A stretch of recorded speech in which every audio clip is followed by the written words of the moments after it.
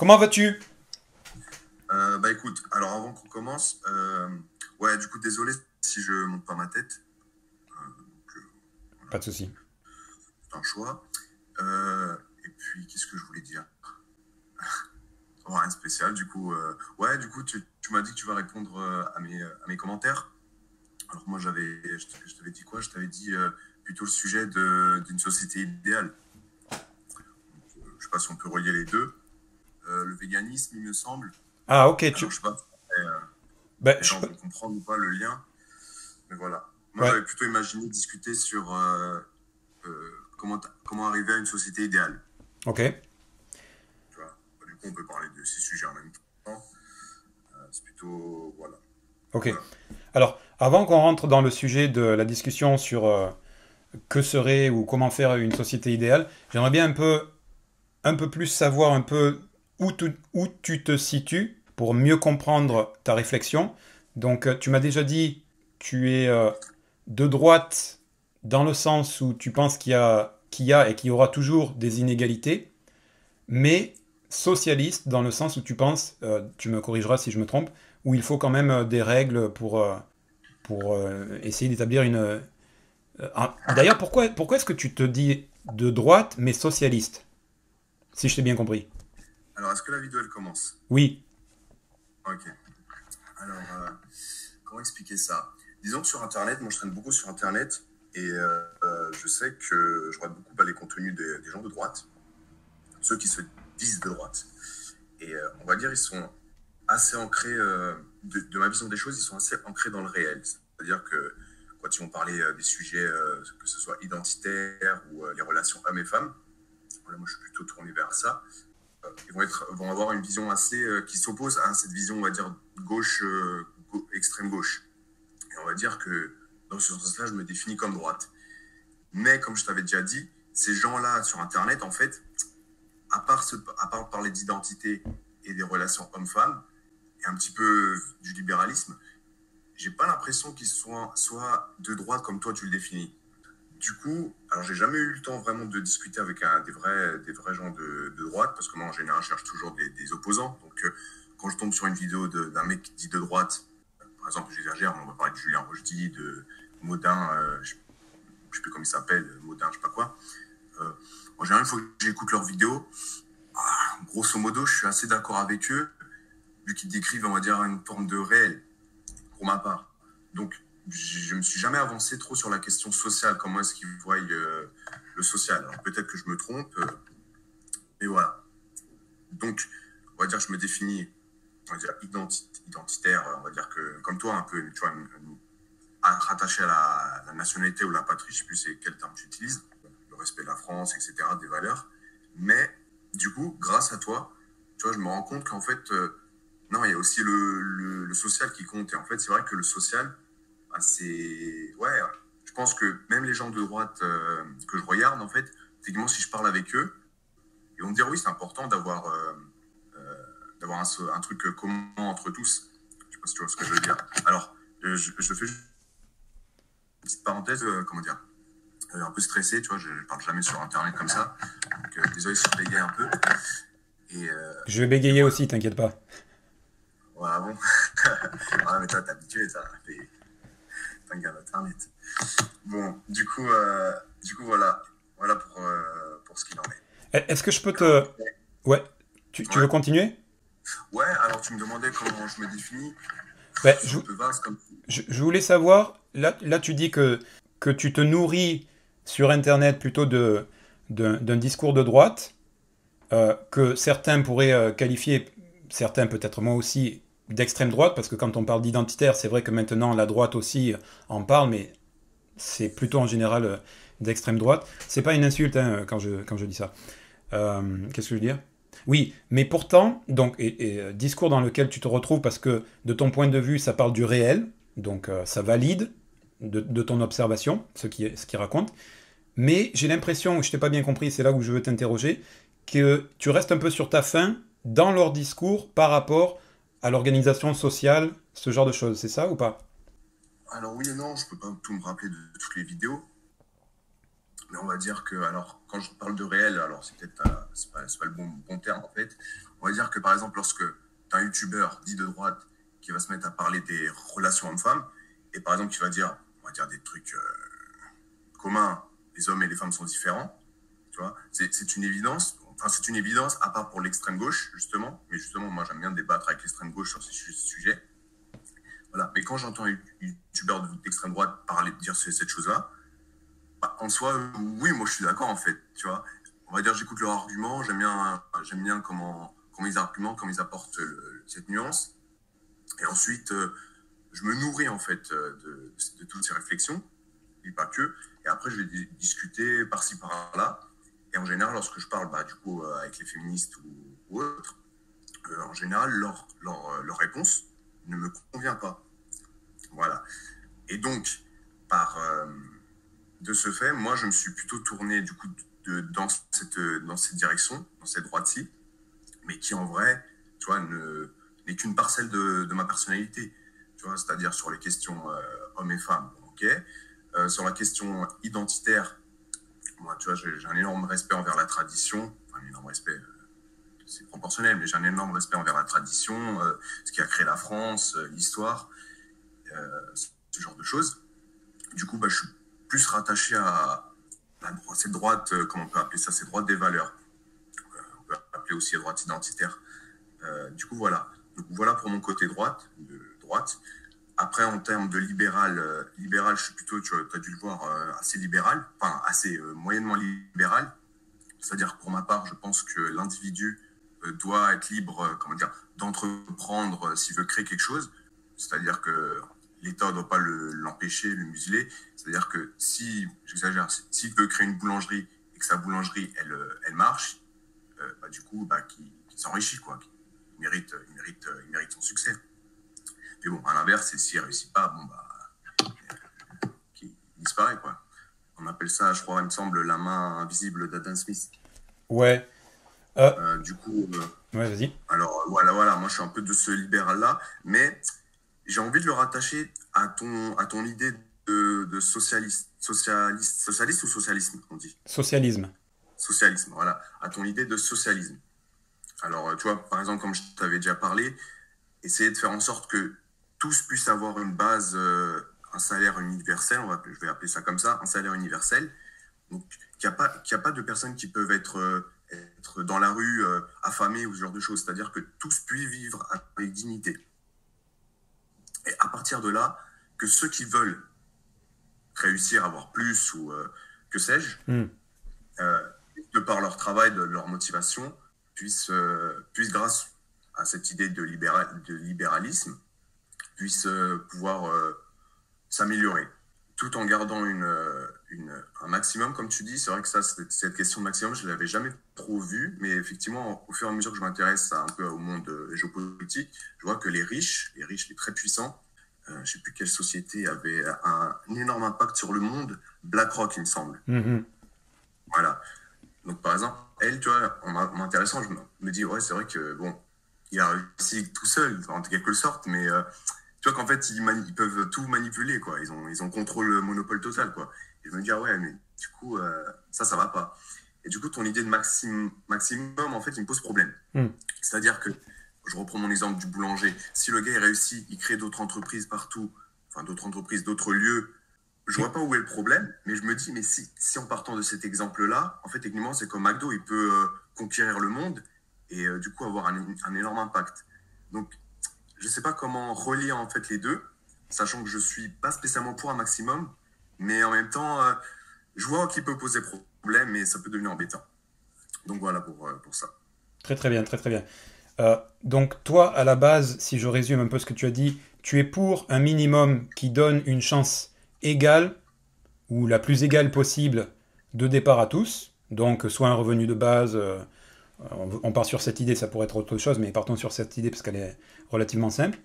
Par contre, tu jusque-là, tu n'envisageais pas de plafond. Maintenant qu'on discute, tu envisages un plafond, mais quand même cette idée de plafond te, dérange parce que peut-être, et là c'est mon interprétation, parce que peut-être c'est une entrave à la liberté, parce que tu dis que tu es libéral, c'est ça? Bah, bah, Comme on, avait déjà parlé, tout ça, mais par exemple, une entreprise, on va dire, qui va atteindre son maximum. Je sais pas, imaginons, bah, pareil, euh, un, restaurateur, bon, il a créé plein d'entreprises, tu sais, il a atteint le maximum assez rapidement. Hmm. Ah, tu veux dire le maximum dans... si s'il y avait un maximum, c'est ça? Voilà, s'il y avait un maximum, qu'il atteint son maximum. Hmm. Humainement, d'après ce que je connais de la nature humaine, il peut, il peut se passer plusieurs choses en fait. Les, le patron ou les patrons qui dirigent ces entreprises peuvent se passer plusieurs choses. Alors, euh, soit effectivement il joue au jeu et du coup bah, il, reste, il reste au maximum et il bouge pas. Soit en soi, je sais pas, il y a une espèce de. Je sais pas comment clarifier ça, de toute façon on avait déjà tout parlé, tout ça. Une espèce de, de flemme, je sais pas comment, comment clarifier ça. Ils ont atteint le maximum, donc euh, par exemple, quelqu'un qui invente des, qui, font des jeux vidéo ou quoi que ce soit, pourquoi ils chercheraient à, créer d'autres choses en fait? Ils sont déjà au maximum, donc typiquement ils se relâchent, ils restent stables. Et du coup, euh, il n'y a plus d'évolution possible. Alors que si tu dépasses ce maximum, en fait, toujours ils peuvent innover et créer de nouvelles choses. Que ce soit au niveau, par exemple, euh, bah, téléphone, ordinateur, les applications, les marques, les, je sais pas, les maisons d'édition, par exemple, je ne sais pas, en fait, ça peut, ça peut brasser tellement large. Une fois que tu atteins ce maximum, il y a un risque pour que bah, les gens ils se disent bon, bah, c'est bon, on atteint le maximum, c'est bon. Alors c'est un risque, c'est toujours possible que les gens ils continuent par amour euh, du truc, mais voilà, c'est un risque. Et du coup, je, crois que je t'avais donné la réponse dans un de mes commentaires. Je t'avais dit qu'on peut faire en sorte que, en fait, il n'y a pas en soi un maximum, mais que on laisse les gens, les entreprises, etc., se gérer toutes seules, entre parenthèses, toutes seules, jusqu'à atteindre ce maximum. Et lorsqu'elles atteignent ce maximum, par exemple, on va dire un milliard, plus, je, voilà, un chiffre euh, comme ça, un milliard, et ben à ce moment-là, ils, ne sont plus une, entreprise individuelle, mais ils s'associent à, à, l'État, tout ce que tu l'État euh, par, avec le peuple. Donc c'est-à-dire que une sorte de euh, nationalisation. Voilà, c'est-à-dire que maintenant, vu qu'ils ont du poids dans le monde, dans le monde ou dans le pays, ils ne peuvent plus faire les choses de leur côté. Maintenant, l'État a son mot à dire sur ce qu'ils font. Mais il n'empêche qu'ils sont libres de créer euh, certaines choses, mais cette fois-ci, euh, c'est lié, euh, lié, avec l'État par le peuple. D'accord, j'ai compris. ouais, ouais, en gros, en gros, en gros, c'est, en gros, ils peuvent pas monter, monter, monter, monter et après soudoyer les gens. C'est-à-dire qu'ils ils, seraient comme par exemple le, c'est un mauvais exemple, mais tout ce qui est énergie, énergie, tout ça, tout ça, c'est lié plus ou moins à l'État. Alors je m'y connais pas trop, mais je pense que l'État a son mot à dire. Je, oui, oui. Je, visualise plus trop, mais voilà, quelque chose comme ça. Et voilà. Ok. En gros, qu'un maximum, mais que l'entreprise peut continuer théoriquement de grimper. Alors, c'est pas vraiment un, maximum, si je comprends ton idée. Toi, ce que tu dis, c'est que il y a un, seuil. On, part sur le chiffre d'un milliard juste pour l'exemple, et que quand une entreprise atteint ce seuil, il y a automatiquement, euh, par la loi ou euh, voilà, une, euh, une collectivisation ou pas nécessairement une collectivisation de l'entreprise, ça pourrait aller jusque-là, une nationalisation, collectivisation, mais ça peut être simplement une ingérence, si on veut, de, de la collectivité, que ce soit l'État ou d'une autre façon, dans l'évolution et donc dans la prise de décision, dans la prise de décision de l'entreprise, comment elle va évoluer à partir de son 1 milliard. Notamment pour faire attention qu'elle n'aille pas euh, créer des abus, de la corruption, etc. Mais il me semble que tu, que tu euh, laisse quand même la possibilité au patron, euh, au singulier ou au pluriel, de continuer à s'enrichir, oui ou non? Individuellement. Justement, et justement, c'est pour ma part là, c'est là que ça devient flou. Effectivement, techniquement, oui, mais j'ai pas spécialement réfléchi à cette question. Ok. Je sais que je sais que j'imagine plutôt que ça reste, ça se connecte à ce que je vais appeler l'État, mais euh, toi tu appelles ça la collectivité, donc que ça que ça se rejoint à la collectivité. Donc, pour ça, en fait, en fait, moi, je voulais discuter avec toi parce qu'en fait, à force de discuter, c'est remarqué, toi, tu donnes des. des, euh, des euh, comment dire Toi, tu donnes des arguments parce que tu as ta vision des choses. Mais en fait, moi, je suis un peu, bah, pas troll, mais on va dire comme ça. C'est que moi, j'adore jouer l'avocat du diable. C'est-à-dire que toi, en général, tu donnes une vision de la société. Et moi, justement, je vais essayer de trouver les failles. Et donc, c'est pour ça que je voulais discuter avec toi parce que je me suis dit, voir comment tu peux voir les choses et moi, moi aussi voir comment je vois les choses, mais surtout chercher à se donner des, euh, des euh, j'appelle ça faire l'avocat du diable, donner des défauts à notre système respectif. Est-ce que tu vois? Tout à fait. Je trouve que c'est très. Euh. Ouais. Je trouve que c'est une très très bonne démarche. Parce que pour ma part, tu vois, quand tu me demandes d'expliquer ma vision des choses, en soi, c'est un peu flou. j'ai pas de, vision claire et nette parce qu'en fait, à chaque fois que je dis un truc, je vois, toujours un défaut qui apparaît. Tu par exemple, comme je te dis, euh, dépasser cette étape, euh, bon, euh, je visualise plus ou moins le défaut. Et donc, moi, j'ai toujours fonctionné, on va dire comme ça, c'est que j'ai une vision un peu de la nature humaine. Et de par cette vision, lorsque je tombe sur quelqu'un qui, qui, a une autre vision, j'aime bien lui donner mes contre-arguments et pour voir comment il répond. Et toi, par exemple, toi, tu es bah, un des seuls, un des parce que j'ai déjà parlé avec des gens de gauche, mais ah, je crois que je suis tombé sur l'extrême gauche du coup. Donc ça représente pas vraiment le, le, socialisme comme toi, comme toi ou la youtubeuse Tatiana Ventos euh, euh, vous parlez. Je sais pas si tu connais Tatiana Ventos. Donc voilà. Euh, on va dire que je tombé, beaucoup, je suis tombé sur la plupart, c'est sur l'extrême gauche. Comme tu peux le, dire, ça représente pas spécialement la gauche dans son ensemble. Donc, ah, une seconde, tu, tu, fais, tu fais du bruit avec quelque chose. Ah, excuse-moi. Ouais. Je, vais toucher le câble pour le Touche-lui. Euh, du coup, du coup, du coup, ouais. voilà. Alors moi, euh, je, voilà, je vois plutôt le côté où tu donnes une explication, je donne un, un contre-exemple si j'en trouve un. Justement, par un message, qui est bien, c'est que j'ai le temps de réfléchir. Là, là, c'est du tac au tac. Ouais. Ouais. Et euh, pareil, quand je donne une explication, si tu peux donner un, un contre-exemple et que tu, voilà. Ok. Là, là, tu as dit beaucoup de. Ouais. Ouais, parce que tu vois, vu, que là j'ai un peu parlé pour expliquer un peu comment je vois les choses, tu as dû comprendre que c'est un peu flou. Il y a pas, j'ai pas un projet politique en soi. Tu vois, c'est flou. Moi, comme je t'ai dit, je change beaucoup d'avis. C'est-à-dire que tu as dû même le voir depuis notre conversation, depuis le début de notre conversation. J'ai énormément en fait évolué. J'ai regardé d'autres chaînes YouTube, j'ai lu beaucoup d'autres livres. Et euh, ce que je disais il y a, par exemple, il y a quelques mois, en fait, maintenant, ça ne s'applique plus du tout. Et par exemple, même ce que je dis là actuellement, ça se trouve, dans un an, je penserais totalement euh, à l'opposé. Donc, même si tu mets par exemple cette vidéo sur Internet, là, ce que je dis, dans quelques, dans quelques mois, ça sera plus euh, d'actualité. D'accord. C'est l'être humain, en fait, il évolue tout le temps. Mais je tiens à souligner ce, ce détail. Ouais, ouais. Tu sais, le, fait. De... Pardon? Je te laisse parler. Du ouais, ouais, ouais.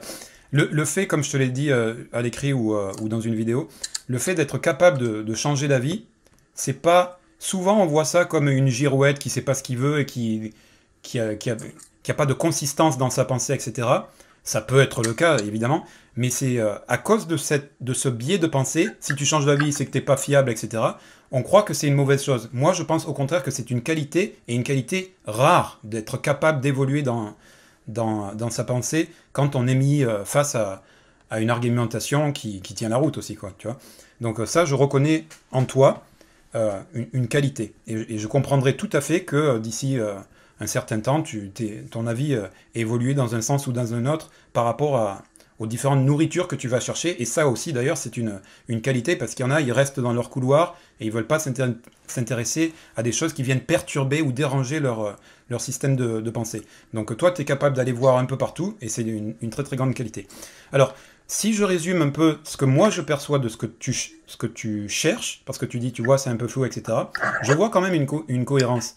Moi, ce que je vois chez toi, c'est que la liberté, le principe de liberté est fort chez toi, tu. Le principe aussi de la nature humaine dans ses défauts, euh, que parfois je pourrais présenter comme idéal, et c'est un peu ce que, ce que tu m'as dit, et aussi quelque chose de, fort chez toi, mais pourtant tu es quand même, et c'est le sujet de la conversation d'aujourd'hui, à la recherche d'une justice, d'une société euh, idéale ou bien équilibrée, etc. Donc tu vois, il faut préserver de ton point de vue la liberté, euh, sachant que l'humain n'est pas parfait et donc peut se fourvoyer et faire des erreurs. Malgré cela, il faut essayer de, de trouver la meilleure organisation possible. Et euh, j'entends tout à fait cela et je trouve que c'est une, colonne vertébrale très très euh, claire et très très saine dans ta réflexion. Alors, je pense que tu as déjà pu le constater, soit dans nos échanges et peut-être dans, dans, ta propre réflexion. Si Ok, toi et moi on est d'accord, il faut un plancher parce que voilà, on n'aime pas voir les gens dans la rue, euh, les gens dans la souffrance, etc. Donc on veut mettre, euh, toi et moi, on s'accorde là-dessus. Peut-être que d'autres personnes ne seront, pas d'accord, mais en tout cas, entre toi et moi, on est d'accord là-dessus, donc on évacue ce point. Il faut un plancher. Maintenant, sur la question du, du plafond et de quel plafond il faudrait, si on met un plafond, c'est-à-dire euh, si on met le plafond que je propose, c'est-à-dire à, à partir d'un milliard ou de telle somme, vous pouvez pas l'individu, pas l'entreprise, mais l'individu ne peut pas garder ne peut pas avoir un compte en banque ou des comptes en banque qui dépassent la somme totale de 1 milliard. Tout ce qui est au-dessus, c'est recollectivisé ou détruit, etc. Et là, de ton point de vue, ça peut être une entrave à la liberté de la personne et aussi une entrave à la motivation de la personne, ce qui est aussi très important. Hein. Ouais, c'est pas, c'est pas une question de liberté, parce que, tiens, moi, j'aime bien la philosophie. Pour moi, la liberté, c'est un peu une illusion, en quelque sorte. Mais euh, vraiment, dans cette nature humaine euh, qui peut la rendre, euh, qui peut rendre la personne, j'ai employé le terme flemmard, mais c'est pas ça, mais il ne cherche plus à, moins s'investir. Il atteint le maximum. Donc, il y a un risque qu'ils se disent, bon, je peux faire autre chose, mais je ne vais, vais pas faire mon entreprise, enfin, je vais pas faire autre chose à mon entreprise vu que je suis déjà au maximum donc, euh, je vais rester comme ça. Je suis, je suis, bien. D'accord. Bien sûr, ça, il peut, ça peut être inconscient. Hein. C'est hmm. euh, voilà, il se dit, euh, il n'a plus rien à prouver, il atteint le maximum. Et, soit, soit, il fait ça, soit, soit il veut le faire parce qu'il est gentil, soit bah, en fait, le mec il s'en fiche. Alors qu'en plus, ça se trouve, son entreprise, en fait, comme, comme j'avais déjà parlé avec des collègues à moi, souvent les entreprises, en fait, ils ont la main mise sur d'autres monopoles, enfin d'autres choses. Par exemple, il me semble Tesla, Tesla, le Elon Musk, il a, une entre, il a plusieurs entreprises, différents types d'entreprises. Et ce gars-là, techniquement, il peut, il peut apporter euh, d'autres, choses autre part. Et donc, techniquement, il a, on va dire que lui, il a explosé totalement ton plancher. Donc, c'est-à-dire que lui, par exemple, s'il s'arrête maintenant, là, imaginons que son plancher s'arrête là maintenant, techniquement, tout c'est partout où est-ce qu'il contrôle, que ce soit l'intelligence artificielle euh, et tous ces autres projets, tous ces autres projets, techniquement, bah, à part par passion, pourquoi il continuerait? Ok. Alors, tu as, tu as bien fait de, corriger quelque chose que j'avais mal compris, et du coup, ça a éclairci un point. Alors, pour toi, la, liberté, donc tu viens de le dire, tu penses que c'est un peu, euh, un peu de la philosophie ou euh, qu'est-ce que tu as dit C'est quoi le terme que tu as dit? Ouais, moi j'avais utilisé le terme liberté. La liberté est une illusion. Illusion, ouais, ok. Et ça c'est, euh, voilà, ça c'est, ça c'est en philosophie, mais on va dire que moi, moi, un individu libre, pour moi, ça n'existe pas. Tu es toujours soumis à ce que tu vois, ce que tu entends. Les réflexions que tu as, en fait, c'est des choses que tu as, que tu as vues euh, ou entendues, euh, etc. Et tes décisions que tu prends, bah, c'est en fonction de là où est-ce que tu es actuellement. c'est comme le stoïcisme, tu peux pas changer. Enfin, il y a des choses que, que tu contrôles, mais il y a des choses que tu peux pas contrôler. voilà, tu vois, j'ai une vision un peu philosophique de la liberté où pour moi, c'est un j'ai plein de concepts philosophiques qui me font dire que, bon, au final, la liberté, la liberté, comme, comme le commun des mortels l'entend, effectivement, oui, elle existe. C'est-à-dire que toi, tu, as le choix de faire le bien ou le mal.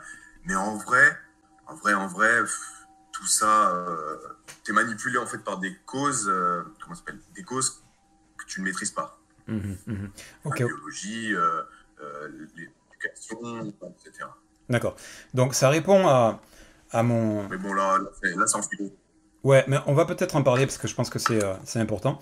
Mais ça répond à ma, problématique parce que je me disais, tiens, il a l'air d'être euh, attaché à la liberté, la liberté d'entreprendre et, euh, de s'enrichir, etc., qui répond au mérite, mais pourtant il propose quand même, de, à un moment donné, à un milliard ou quoi, de nationaliser l'entreprise. Et ça, du point de vue du chef d'entreprise, c'est hey, c'est mon bébé, c'est mon entreprise, vous me la volez, quoi, tu vois. Donc ça, ça irait contre son, sa vision de la liberté. Alors qu'en fait, ce que tu dis, c'est que bon, comme la liberté c'est une bah, illusion, c'est pas ça. J'ai pas trop réfléchi à ça, mais là, là de suite, je peux te dire que, en fait, techniquement, son bébé, effectivement, c'est à lui, mais euh, la, nation, elle a, elle peut avoir son mot à dire. Par exemple, je reprends l'exemple d'Elon Musk.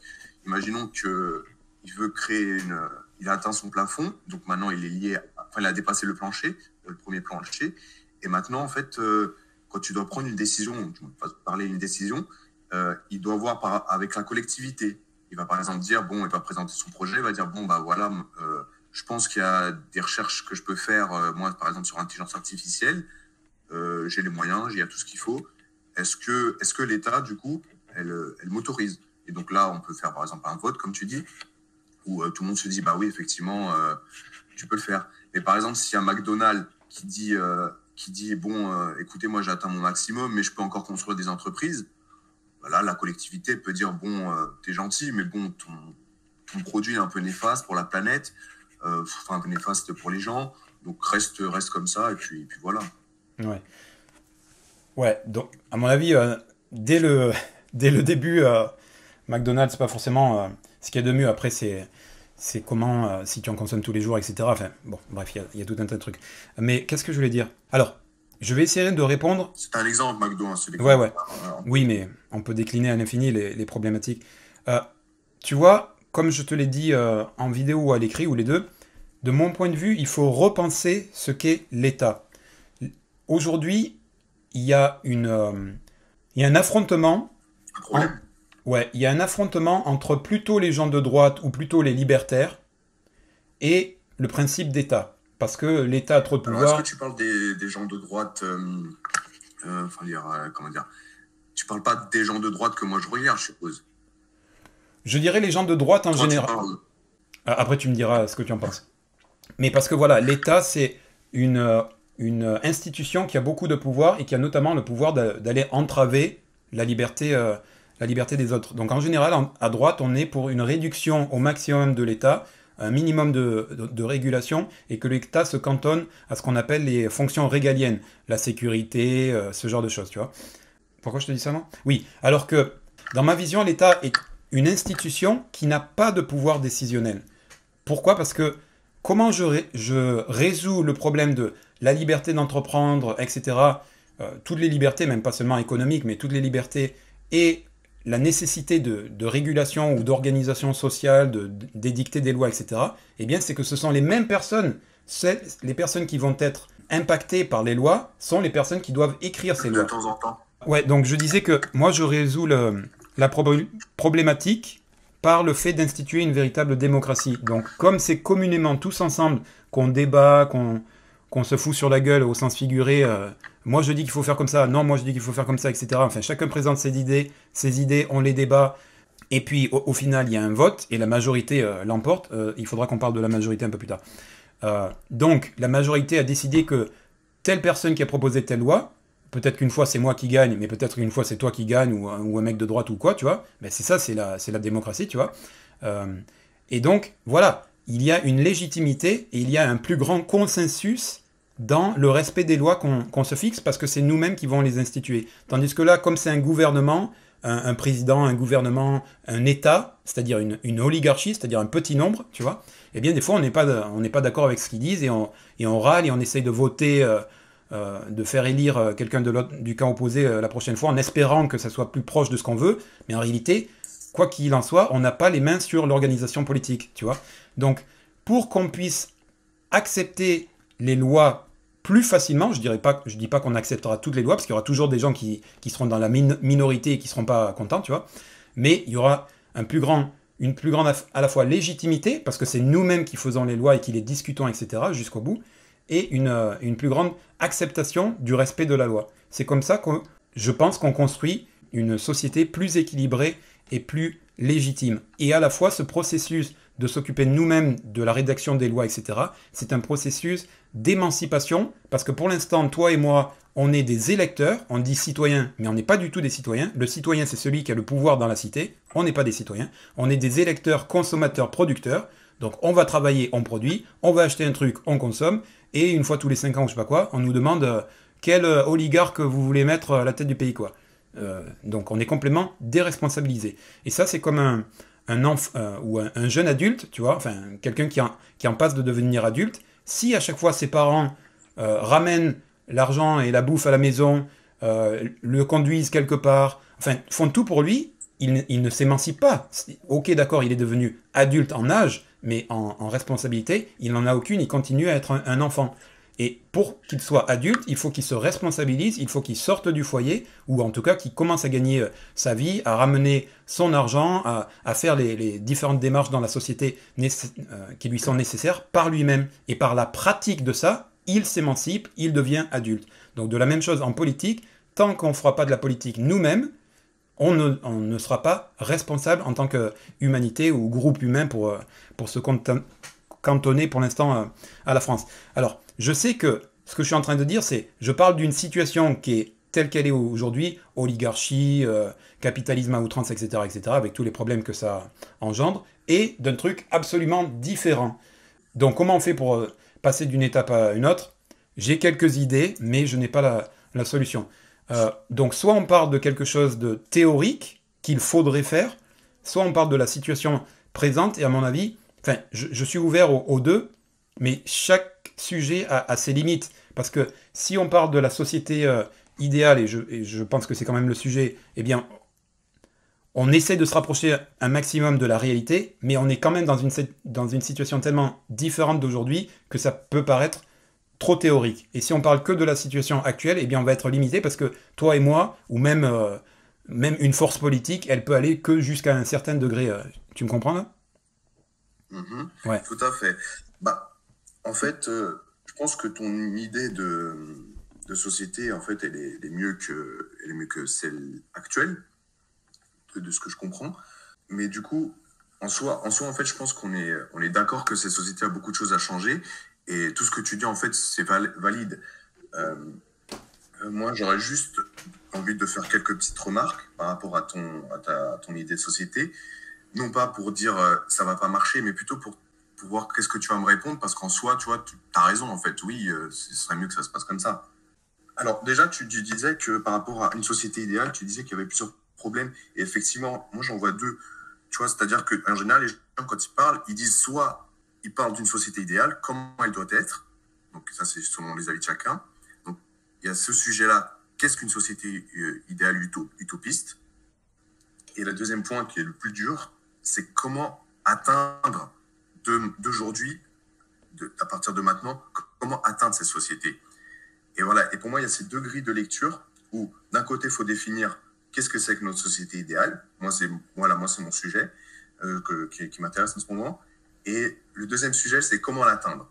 Alors, comment l'atteindre, j'ai pas trop pour l'instant actuellement d'idées. Il euh, faut manifester, il faut, faut, parler, il faut discuter, il faut éveiller les, les, gens surtout. Moi, je pense que l'aliénation que la population subit, euh, elle, doit, elle, doit se, elle, doit, se, calmer. Mais bon, après, c'est.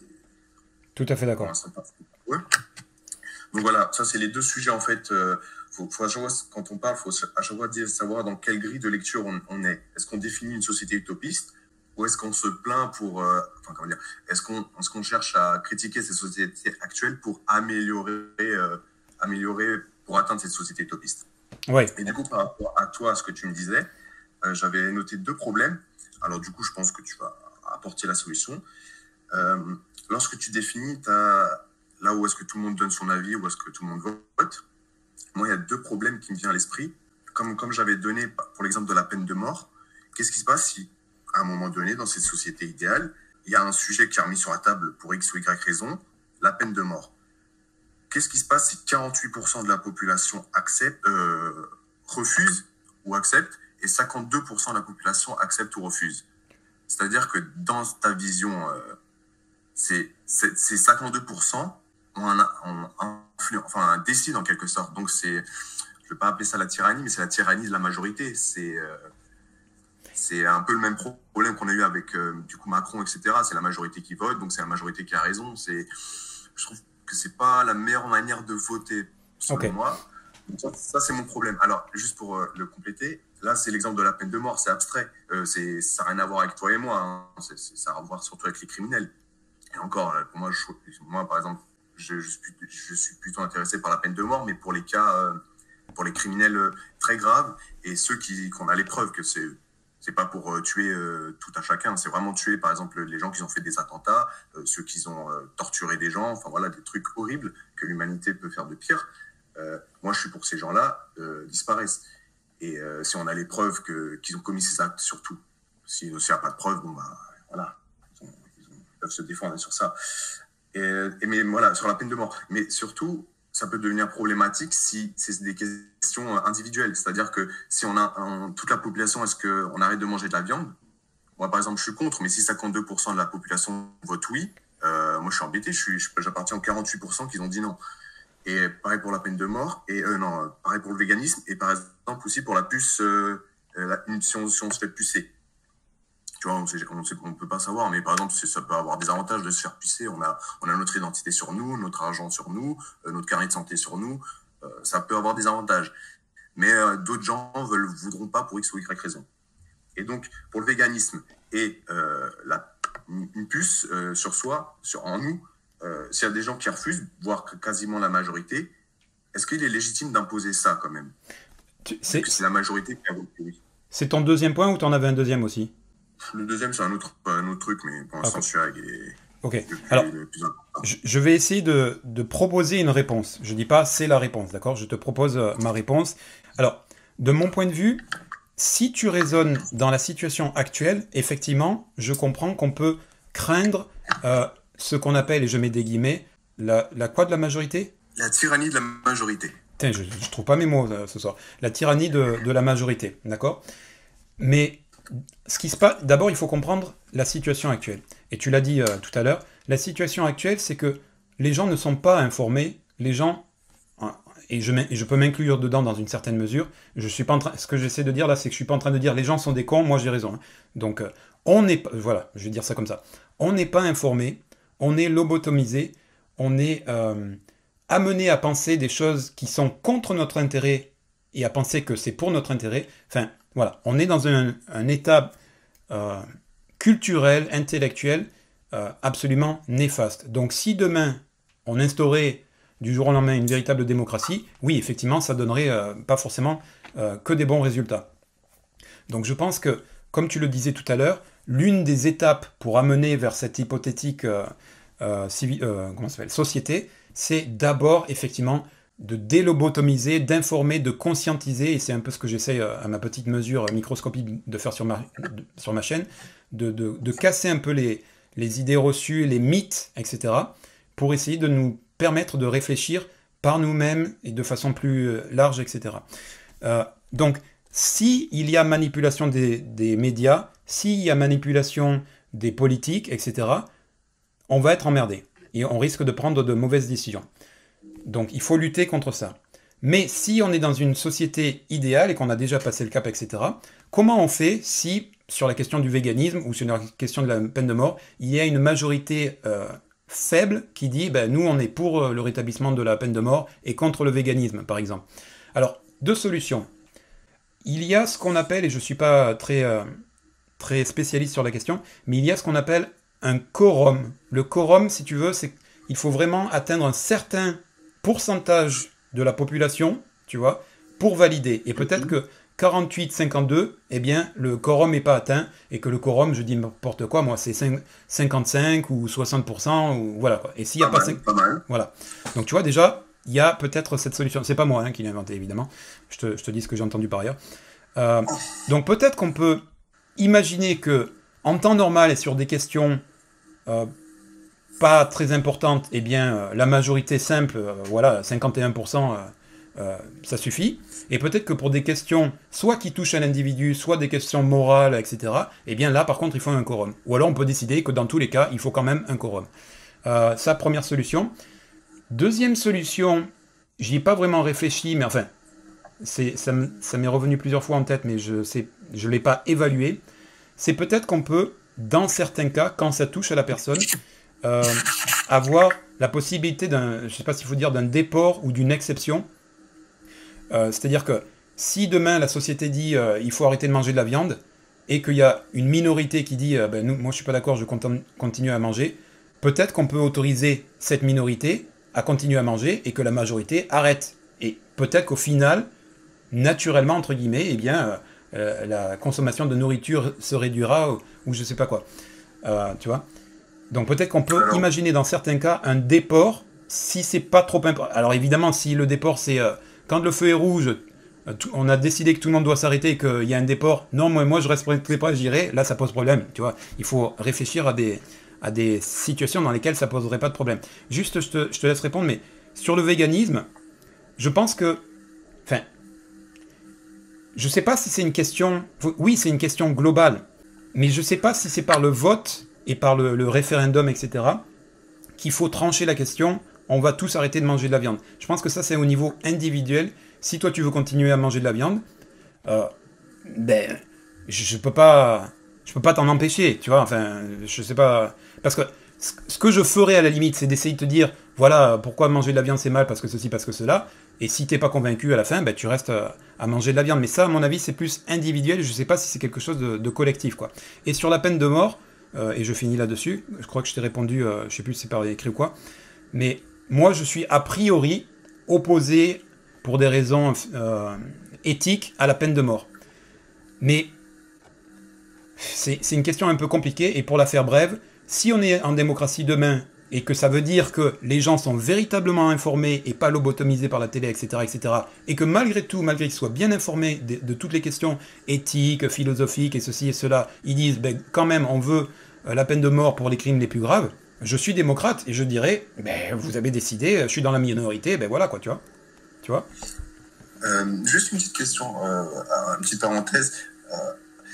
tu dis que tu es un peu contre la peine de mort. Alors, moi, je ne vais pas trancher sur la question. Moi, je suis pour pour les cas graves. Mais justement, comment tu fais humainement pour, euh, par exemple, imaginons une pire des ordures, un mec, il prend des gamins et il, les viole, il les torture, il les mange ce que tu veux, genre. L'horreur absolue. Tu, es d'accord pour ne pas l'éliminer, lui? Alors, déjà, tu l'as vu ma vidéo sur la peine de mort ou pas? Alors, je crois que j'ai trouvé ta chaîne en, été. J'ai dû regarder pas mal de tes vidéos, mais euh, ouais. je crois que j'ai vu celle-là ou pas. C'est pas grave, ça, va. Je, répète un peu ce que je disais dans, ma vidéo sur la peine de mort. De mon point de vue, une société sage, parce qu'on parle de société idéale, j'aime bien aussi euh, diversifier les, les, qualificatifs. Et donc, une société idéale, de mon point de vue, c'est une société sage. Et il me semble que la sagesse, c'est une vertu. Elle, la société sage, elle décorait, si elle devait instaurer la peine de mort, elle décorrèle totalement la vengeance de la peine de mort. D'accord? On, ne tue pas quelqu'un pour se venger du mal qu'il a fait, de mon point de vue. il me semble que ça, c'est la passion, tu vois, c'est répondre à la colère et, à la haine, ce qui est tout à fait normal. Je ne dis pas qu'on a... Euh, je fais une parenthèse, mon, père a été assassiné. J'ai de la, de la colère. Je pourrais dire que j'ai de la haine pour le mec qui a tué euh, mon père et deux autres personnes, d'ailleurs, il a tué euh, trois personnes. mais j'ai ça veut peut-être choquer, mais j'ai pas de haine envers cette personne. J'ai de la colère et je veux pas que le mec puisse marcher dans la rue. Je vais y revenir. Euh, mais j'ai pas de la haine. Et il me semble que la haine, c'est, quelque chose qui t'amène vers l'abîme, qui t'amène pas vers la, société euh, idéale, une société qui marche bien, et qui peut amener des troubles, des, guerres, quoi, des, gros bordels. Donc je pense qu'il faut décorer les vengeances et euh, peine de mort. On tue quelqu'un parce que il s'est autorisé à enlever la vie à quelqu'un, à tuer quelqu'un, à manger quelqu'un, à violer quelqu'un, en plus un enfant, etc. Et ça, la, société a dit non, quoi, c'est pas possible, tu peux pas. Et donc, euh, on met fin à, tes jours, pas parce que euh, on, se venge, évidemment qu'intérieurement, euh, il y a aussi ce sentiment qui. Mais officiellement, les institutions, elles disent voilà, vous avez été condamné à mort parce que vous avez fait tel et tel crime, et c'est pas une question de vengeance je, mets de côté la, question spirituelle pour pas compliquer la, chose. Euh, qu'est-ce que je veux dire? Oui, donc, je pourrais, je, comprends tout à fait, et je pourrais aussi me laisser aller à dire, euh, ouais, ben franchement, le mec a violé, euh, torturé et mangé des enfants, nique sa mère, quoi. Il, faut le tuer, et en plus, il faut le tuer de façon, tu vois, ce qu'il sente, il le sente passer, quoi. Je pourrais faire ça, et il y aurait une certaine satisfaction, mais je suis pas sûr que ça soit très utile. Alors ouais, justement, c'était ça le, une petite remarque que je voulais te faire euh, par rapport à la vengeance. Alors j'en ai discuté avec des, des, collègues à moi. Et euh, moi, j'ai un, collègue à moi, euh, c'est un gars, il est un peu loufoque et on va dire qu'il a des, des, avis totalement différents de la majorité. Alors la plupart du temps, je suis jamais d'accord avec lui. Mais bon, souvent, il fait réfléchir. Et on parlait justement de ça un moment avec la peine de mort. Et lui, il expliquait que, justement, il parlait de la vengeance. Il expliquait que l'État, la justice, n'a rien à voir avec en soi la vengeance. Je vais expliquer à ma manière, mais en gros, euh, c'est-à-dire que tu signes, en fait, quand tu nais, tu signes un contrat social en quelque sorte, euh, de respecter les règles. Et du coup, si tu ne respectes pas les règles, il n'y a pas de vengeance en fait. Tu es, exclu, exclu de, de cette société. Donc, d'un premier point. Mais si tu ou, euh, si tu carrément tu, tu, dépasses les bornes, donc comme tu es un enfant par exemple, tu, enfin, torturer un enfant, euh, on va dire que là, tu déclares la guerre à, à, la civilisation humaine, à la dignité humaine, si tu préfères même. Et donc, dans ces, dans ces cas-là, y a pas, je vois pas ça comme vengeance, mais je te vois plutôt comme euh, la justice euh, immanente qui te frappe. Voilà, y a pas, y a pas, on va pas t'infliger le même châtiment, mais tu disparais, c'est tout. Il n'y a, pas, a pas de haine, il n'y a rien. Juste, tu t'en vas, c'est fini. On veut, veut plus de toi et on veut plus de toi nulle part. On sait que tu vas faire d'autres choses cette, vision de vengeance, moi, je la vois pas comme ça. Moi, je vois comme une, justice, euh, pas divine, mais euh, vu que l'État, il va, vu tu as dépassé les bornes, bam, tu disparais, c'est tout. Il n'y a pas de vengeance, il n'y a pas de haine, il n'y a, rien. Voilà. Ben, et, euh, ouais. et puis voilà. La question de la haine, c'est relatif parce que tu vois, toi, toi, tu dis qu'une société sage ne devrait pas, par exemple, éliminer des gens parce que ça ne va pas apaiser la douleur, etc. tout ça, c'est des trucs sur le comportement humain, ça se travaille. Mais pareil, apprendre que la personne, la personne qui a, qui a tué, torturé ton enfant, euh, finalement passe ses jours derrière les barreaux où techniquement il est nourri, logé, euh, etc. Je sais pas si mentalement, pareil, tu, te sens apaisé. Ça, c'est une vision, euh, on va dire, chrétienne du, de la morale. Parce que, parce que moi, j'étais un ancien chrétien, du coup, j'avais un peu cette vision-là, mais maintenant, je suis sorti du christianisme et j'ai plutôt une vision, une philosophie chrétienne, mais dans ma main, dans ma main droite, mais dans ma main gauche, j'ai un peu la vision nietzschéenne des choses. C'est-à-dire pour moi, la morale, euh, c'est relatif. Elle peut, euh, elle peut changer en fonction des, des, cultures, des civilisations. Ouais, ouais. Mais écoute, je, je pense qu'en tout cas, une société sage et une société idéale se départit et se défait de, de la haine, de la vengeance, etc. Mais je comprends évidemment qu'au niveau humain, quand on, notre propre enfant, etc., a été, euh, été touché de, de, façon horrible, c'est je dis pas les gens n'ont pas le droit de, sentir cette haine et cette, euh, et, cette envie de, mort de la personne. C'est complètement normal. Là, je fais une différence entre l'individu et la société. Je pense que la société, globalement, on doit répondre d'une certaine façon, mais c'est tout à fait normal qu'au niveau individuel, euh, on, vive certaines choses.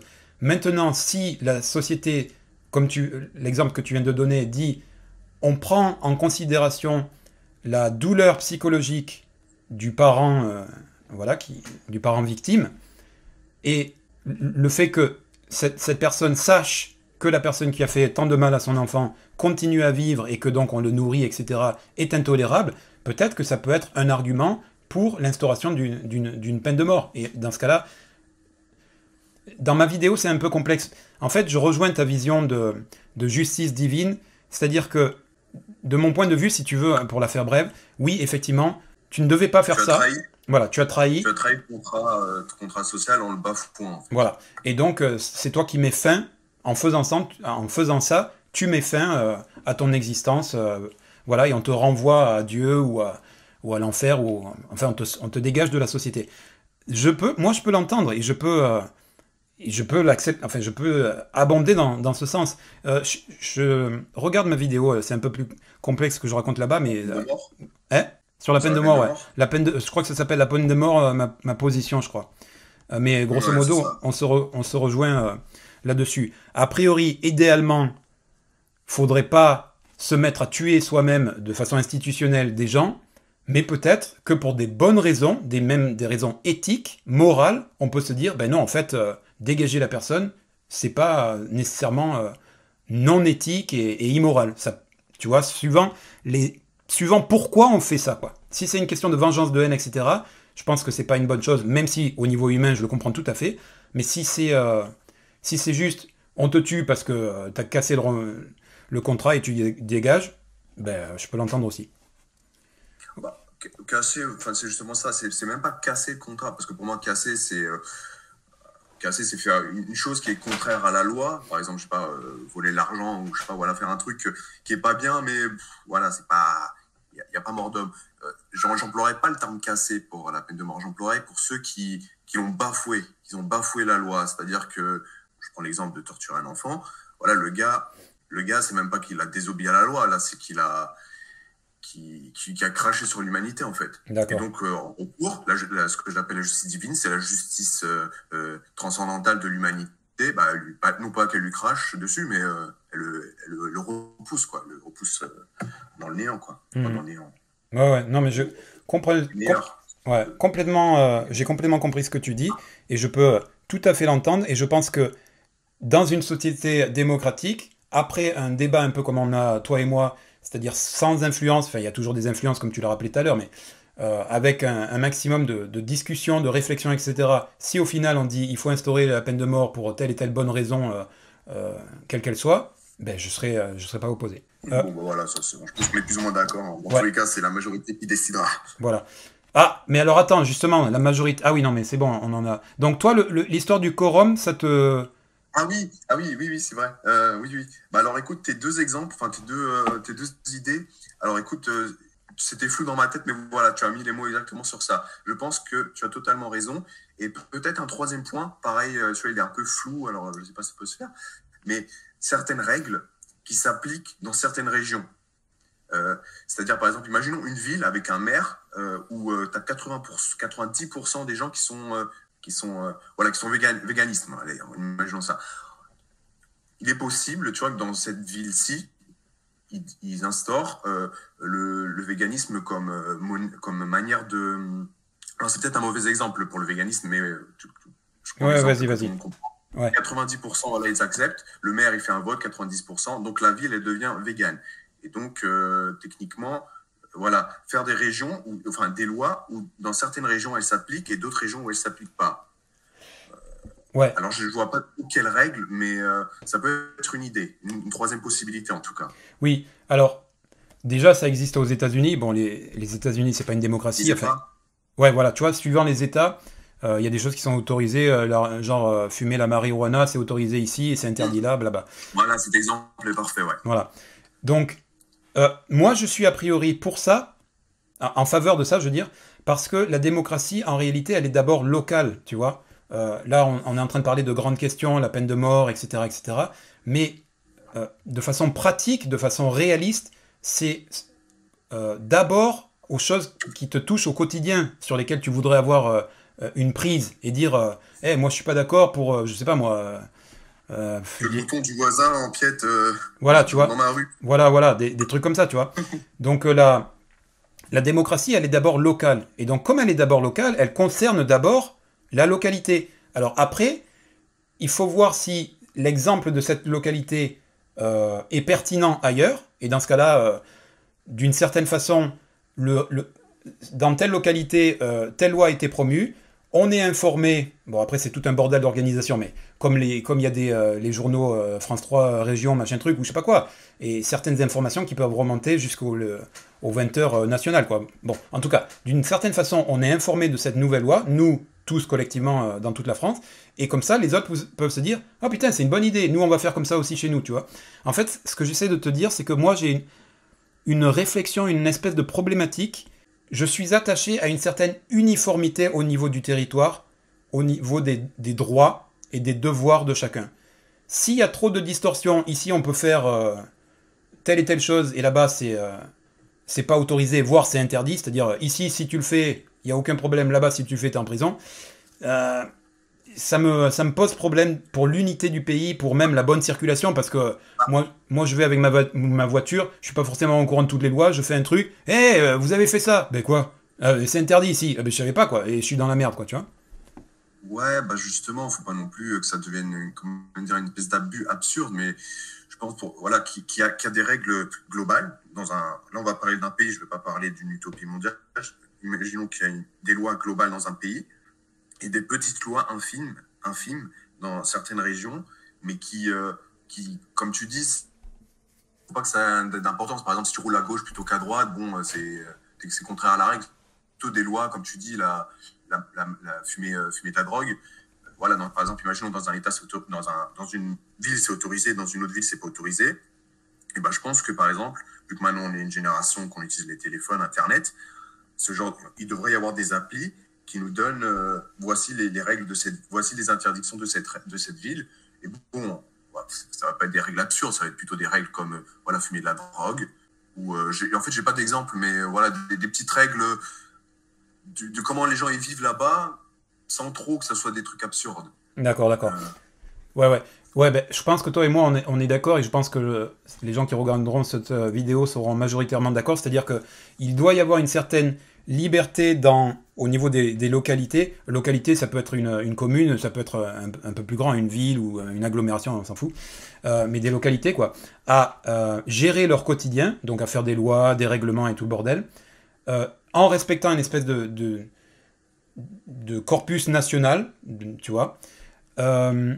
Et, donc avoir une espèce de, degré inférieur de la loi qui ne vient pas perturber la vie de, l'individu, mais qui permet quand même à des localités de, d'instaurer leur propre, leur propre nuance. Et, quoi. Et, surtout qu'on peut voir aussi euh, des nuances avec le fait d'habiter dans ces villes et d'être visiteur de ces, dans ces villes. Tu vois ah Ouais, ouais. Voilà, par exemple, on prend l'exemple du mouton. Bah, euh, ceux qui vont, par exemple, si, si dans une ville c'est autorisé de promener les moutons euh, dans, traversant telle rue et que dans l'autre c'est interdit, bah, ça, ça, des règles qui, rejoignent les habitants. Mais si, par exemple, je sais pas, tu es un voyageur qui a ramené son mouton et par accident tu fais, tu, fais traverser la route interdite, si par, par accident il y a la police, bon, tu dis que tu n'habites pas ici, euh, cette règle, tu connais pas. La police, humainement, si c'est la police, elle est si on va dans un état, euh, euh, dans, une, dans une utopie humaniste, voilà, elle te, laisse tranquille, il n'y a pas de problème en fait. Pourquoi elle t'embêterait alors que tu n'habites pas dans cette ville? Très bonne, très bonne idée, oui. Le fait de, de différencier celui qui habite et qui est censé connaître la loi et celui qui visite et qui est pas enfin, qui peut ne pas connaître la loi, à qui on, donne une, une tolérance. Et, la police peut dire attention, euh, pas, verbalisation, mais euh, rappel à l'ordre, tu sais, attention, euh, ici c'est interdit, vous pouvez pas faire ça, quoi. Et donc si le mec on le chope deux fois, mais merde, putain, la, prochaine, la première fois on vous l'avait dit, quoi, tu vois. Donc ouais, une espèce de, tolérance aux visiteurs. Ouais, ouais, plus qu'une tolérance, enfin moi je vois ça, le mec, ouais, enfin il y a, tellement, peu d'exemples que je vois, à part le cannabis et le mouton, que on peut transposer ça sur plein de domaines absurdes, mais voilà c'est des petites règles de, la communauté. Voilà, les gens, par exemple, dans un village, ils se connaissent tous. Bon, euh, il y, a, des problèmes qui sont propres à ce village. Par exemple, tel voisin a un problème avec euh, l'arbre de tel voisin ou, ou je sais pas quoi. Eh ben, ils instaurent des règles que, que le maire euh, il, prend connaissance, qu'il connaît, mais que un voyageur n'a pas forcément besoin de connaître. Et c'est pas grave, c'est un voyageur. question sur la, sur la majorité et le, le quorum. Je voudrais avoir ton avis. Euh, tu, as compris l'histoire du quorum, hein, qu'est-ce que c'est, ouais? C'est les En gros, c'est validé s'il y a plus de 80%, par exemple. Ouais, voilà. Ouais, voilà, un, certain nombre. Qu'est-ce que tu penses là-dessus? Je pense que l'idée t'intéresse, mais est-ce que tu penses que c'est quelque... que le quorum, c'est quelque chose qui doit s'appliquer à toutes les à toutes les règles, à tout ce qu'on vote, à toutes les lois, ou à certaines lois euh, plus importantes, plus importantes euh, comme la peine de mort ou je sais pas quoi? Bah, Moi, je suis dans la nuance, effectivement. Euh, je vais pas par exemple, ce quorum, il peut, il peut être déjà local, justement pour les petites règles qu'on parlait, c'est-à-dire que si 70% euh, du village euh, accepte ces règles, bon, elles sont appliquées. Mais euh, après, au, au niveau national, et encore, si on parle maintenant d'un niveau mondial, ça peut être différent. Mais ouais, mais après, il faut voir différencier les lois. C'est-à-dire si c'est des lois qui touchent à l'individu même, on va dire que le, quorum, comme tu dis, doit être important. Par exemple, le, ah. le véganisme, ou, ou le, bah, ça touche au corps, ça touche à, à, ce que la personne fait. Mais par exemple, pour la peine de mort, le quorum, il peut être moins, plus, plus faible. J'exagère 60%, par exemple, si ça dépasse 60%, la peine de mort peut être appliquée pour les, pour les cas graves. Mais par exemple, pour la puce, euh, pour la puce, on peut voir, euh, il faut que plus, plus de 85% de la population, tout ce qui touche au corps, en fait, il faut que ça soit un pourcentage assez élevé. Sachant que, par exemple, pour la puce, on peut, on peut envisager, comme tu dis, ceux qui acceptent, ils la mettent, et ceux qui n'acceptent pas, ils la mettent pas. Donc, c'est pas un truc qui est indispensable en soi, tout comme le, véganisme, en fait. Chacun fait ce qu'il veut. Voilà, c'est c'est côté libéral. Euh, oui, mais tu vois, comme je le disais pour le véganisme, c'est encore plus vrai pour la puce. C'est-à-dire que moi, je suis, je suis pas véganisme, mais on, je suis pas véganisme. Je suis pas végan. Hein? Moi non plus. Ouais, ouais. Non, mais il y a quand même une différence entre toi et moi. C'est-à-dire que moi, je suis, euh, c'est quoi déjà le terme? Euh, Végétarien, d'accord? Je ne mange pas de viande. Je mange du fromage. Euh, je mange du, du, yaourt. J'adore le yaourt. Ici, le, au Japon, le fromage est très très cher, donc j'en mange très très peu, surtout comparé à ce que je bouffais en France. Mais je me rattrape un peu sur le, yaourt. Alors que le végan, lui, tous les produits qui viennent de l'animal, évidemment la viande, mais aussi le lait, etc., enfin tous les dérivés, quoi, il en bouffe pas parce qu'il veut pas du tout d'exploitation de l'animal. Alors que moi, je suis, je suis végan, donc c'est végétarien, donc c'est un peu différent. Euh, mais pourquoi je te parle de ça moi? Ah oui, donc tout à l'heure je te disais que si euh, il y a une majorité de gens qui disent euh, il faut qu'on instaure le véganisme comme, comme régime alimentaire pour la nation, mais qu'on permet à ceux qui veulent pas, qui sont en minorité, mais qui veulent pas le faire, de, de, de se déporter, enfin de, de, continuer à bouffer de la viande, en réalité, je pense qu'à travers le temps, les gens qui mangent de la viande vont se retrouver, ils sont déjà en minorité, mais ils vont se retrouver de plus en plus en minorité parce que le système euh, majoritaire est en défaveur de la consommation de la viande. Donc il y, a, plein de pratiques, il y a plein de cultures, il y a une pression sociale, etc. Tout un tas de choses euh, un peu euh, en dehors de la loi en elle-même qui vont réduire ceux qui mangent de la viande et au bout de certaines générations, ces gens-là vont disparaître, tu vois. Enfin, ces gens-là, c'est pas les gens qui mangent de la viande, c'est pas insultant parce que je le dis pas de la bonne façon, mais mais du coup sur la, puce RFID, s'il y a une majorité de, de gens qui disent oui oui, on veut on instaure ce système et qu'il y a une minorité qui dit non et qui a le, libre choix de ne pas le faire, en réalité, il va y avoir tellement de nouvelles applications. Euh, tu vois, comme ce qu'ils font là en ce moment, Macron et tout le bordel. Maintenant, c'est tout par Internet. Tu vois, si tu veux, tu, veux, tu vas au bureau, euh, il me faudrait un papier. Ah ben, il faut aller le réclamer par Internet. Mais j'ai pas Internet. Ah ben, vous pouvez pas. Et donc, tu es obligé, en fait, tu vois. Donc, ça, c'est beaucoup plus bah, dangereux. Après, il y a toujours des gens. Après, il y a toujours des gens euh, qui sont à part dans la société, ceux qui vivent en ermite, euh, etc. On devrait permettre à, des gens qui veulent vivre euh, à part de la loi de pouvoir le faire. C'est-à-dire que mettre une petite institution, un petit, un petit, comment s'appelle, un petit, dans, dans l'État, dans, dans, les mairies, tout ça, une personne qui peut gérer quelqu'un qui n'a pas de puce RFID, par exemple. Voilà. Ouais, ouais. Ça peut être un. Voilà, une personne qui. Voilà, c'est tout. Ouais, ouais, ouais. Ouais, ouais, ça peut être un, tu, proposes, tu dis que tu es dans le flou et que tu fais l'avocat du diable, mais en réalité, tu proposes aussi beaucoup de, bonnes idées. Euh, euh, qu'est-ce que je disais? Ça peut être une, euh, un palliatif. Je m'interroge quand même sur la, le degré de sécurité que ça apporte. Mais bon, moi, toi, toi comme moi. La puce? Ouais. Non, non, je veux dire, le, fait de, de, réserver à ceux qui veulent pas se mettre la puce, d'avoir quand même un bureau, tu sais, enfin, de, de continuer à pouvoir faire ce qu'ils font sans la puce, quoi, tu vois. Je pense que c'est pas suffisant, mais bon, toi et moi, on est contre. Euh, s'il y a trois personnes dans le pays, bon, euh, ça sert à rien. Mais bon, si euh, s'il y, a 10% de la population, voilà, je pense qu'ils doivent en avoir. Ouais, ouais, ouais. Ouais, de toute façon, en tout cas. le nombre de personnes qui Ouais, ouais. Ouais, non, en tout cas, moi, je suis pas. Je, je comprends l'avantage de tout numériser, de passer par Internet, parce que toi et moi, voilà, on est la génération d'Internet. Mais bon, j'ai plus mes grands-parents. Mais je veux dire, des gens d'un certain âge, soit ils n'ont pas d'ordinateur, et d'ailleurs c'est pas que des grands-parents, il y a des gens de notre âge qui n'ont pas d'ordinateur et qui savent pas les utiliser, et puis euh, voilà, il y a des générations plus anciennes qui savent, qui sont pas à l'aise avec un ordinateur, donc de dire on ferme tous les trucs euh, anciens euh, de, face à face, c'est discriminant, tu vois. Donc on fait un truc nouveau parce que c'est mieux, oui, mais il faut pas, il faut pas enlever l'ancien truc pour autant, quoi, tu vois. Tu vois, justement, ça c'est excellent ce que tu dis parce que justement ça rejoint euh, ce que je disais avec que soit la société est utopiste, soit elle cherche à atteindre l'utopie. Et c'est-à-dire que nous, on est, nous sommes une génération un peu entre les deux, c'est-à-dire on est entre celle qui n'a pas connu Internet et celle qui connaît Internet. Donc, la, société, elle doit comment dire, s'adapter à toutes, euh, toutes les générations. Donc, faire ce tremplin, mais toi et moi, je pense que quand on parle de notre société utopiste parfaite, ça sera pas tout de suite. Et donc, si c'est plus tard, bah, les gens ils, seront, ils connaîtront Internet tous, hein, pratiquement. Ouais. si tu cherches à vivre quand même. Voilà. En fait, il faut chercher à faire le, tremplin, le, comment ça, le, tremplin ou, le, ou la montée. Quoi. C'est une, génération qui connaît Internet, il faut s'adapter à elle. Ouais, ouais. Bon, après, euh, je pense que toi, quand même, toi et moi, on est, on est quand même contre la puce RFID et, et contre.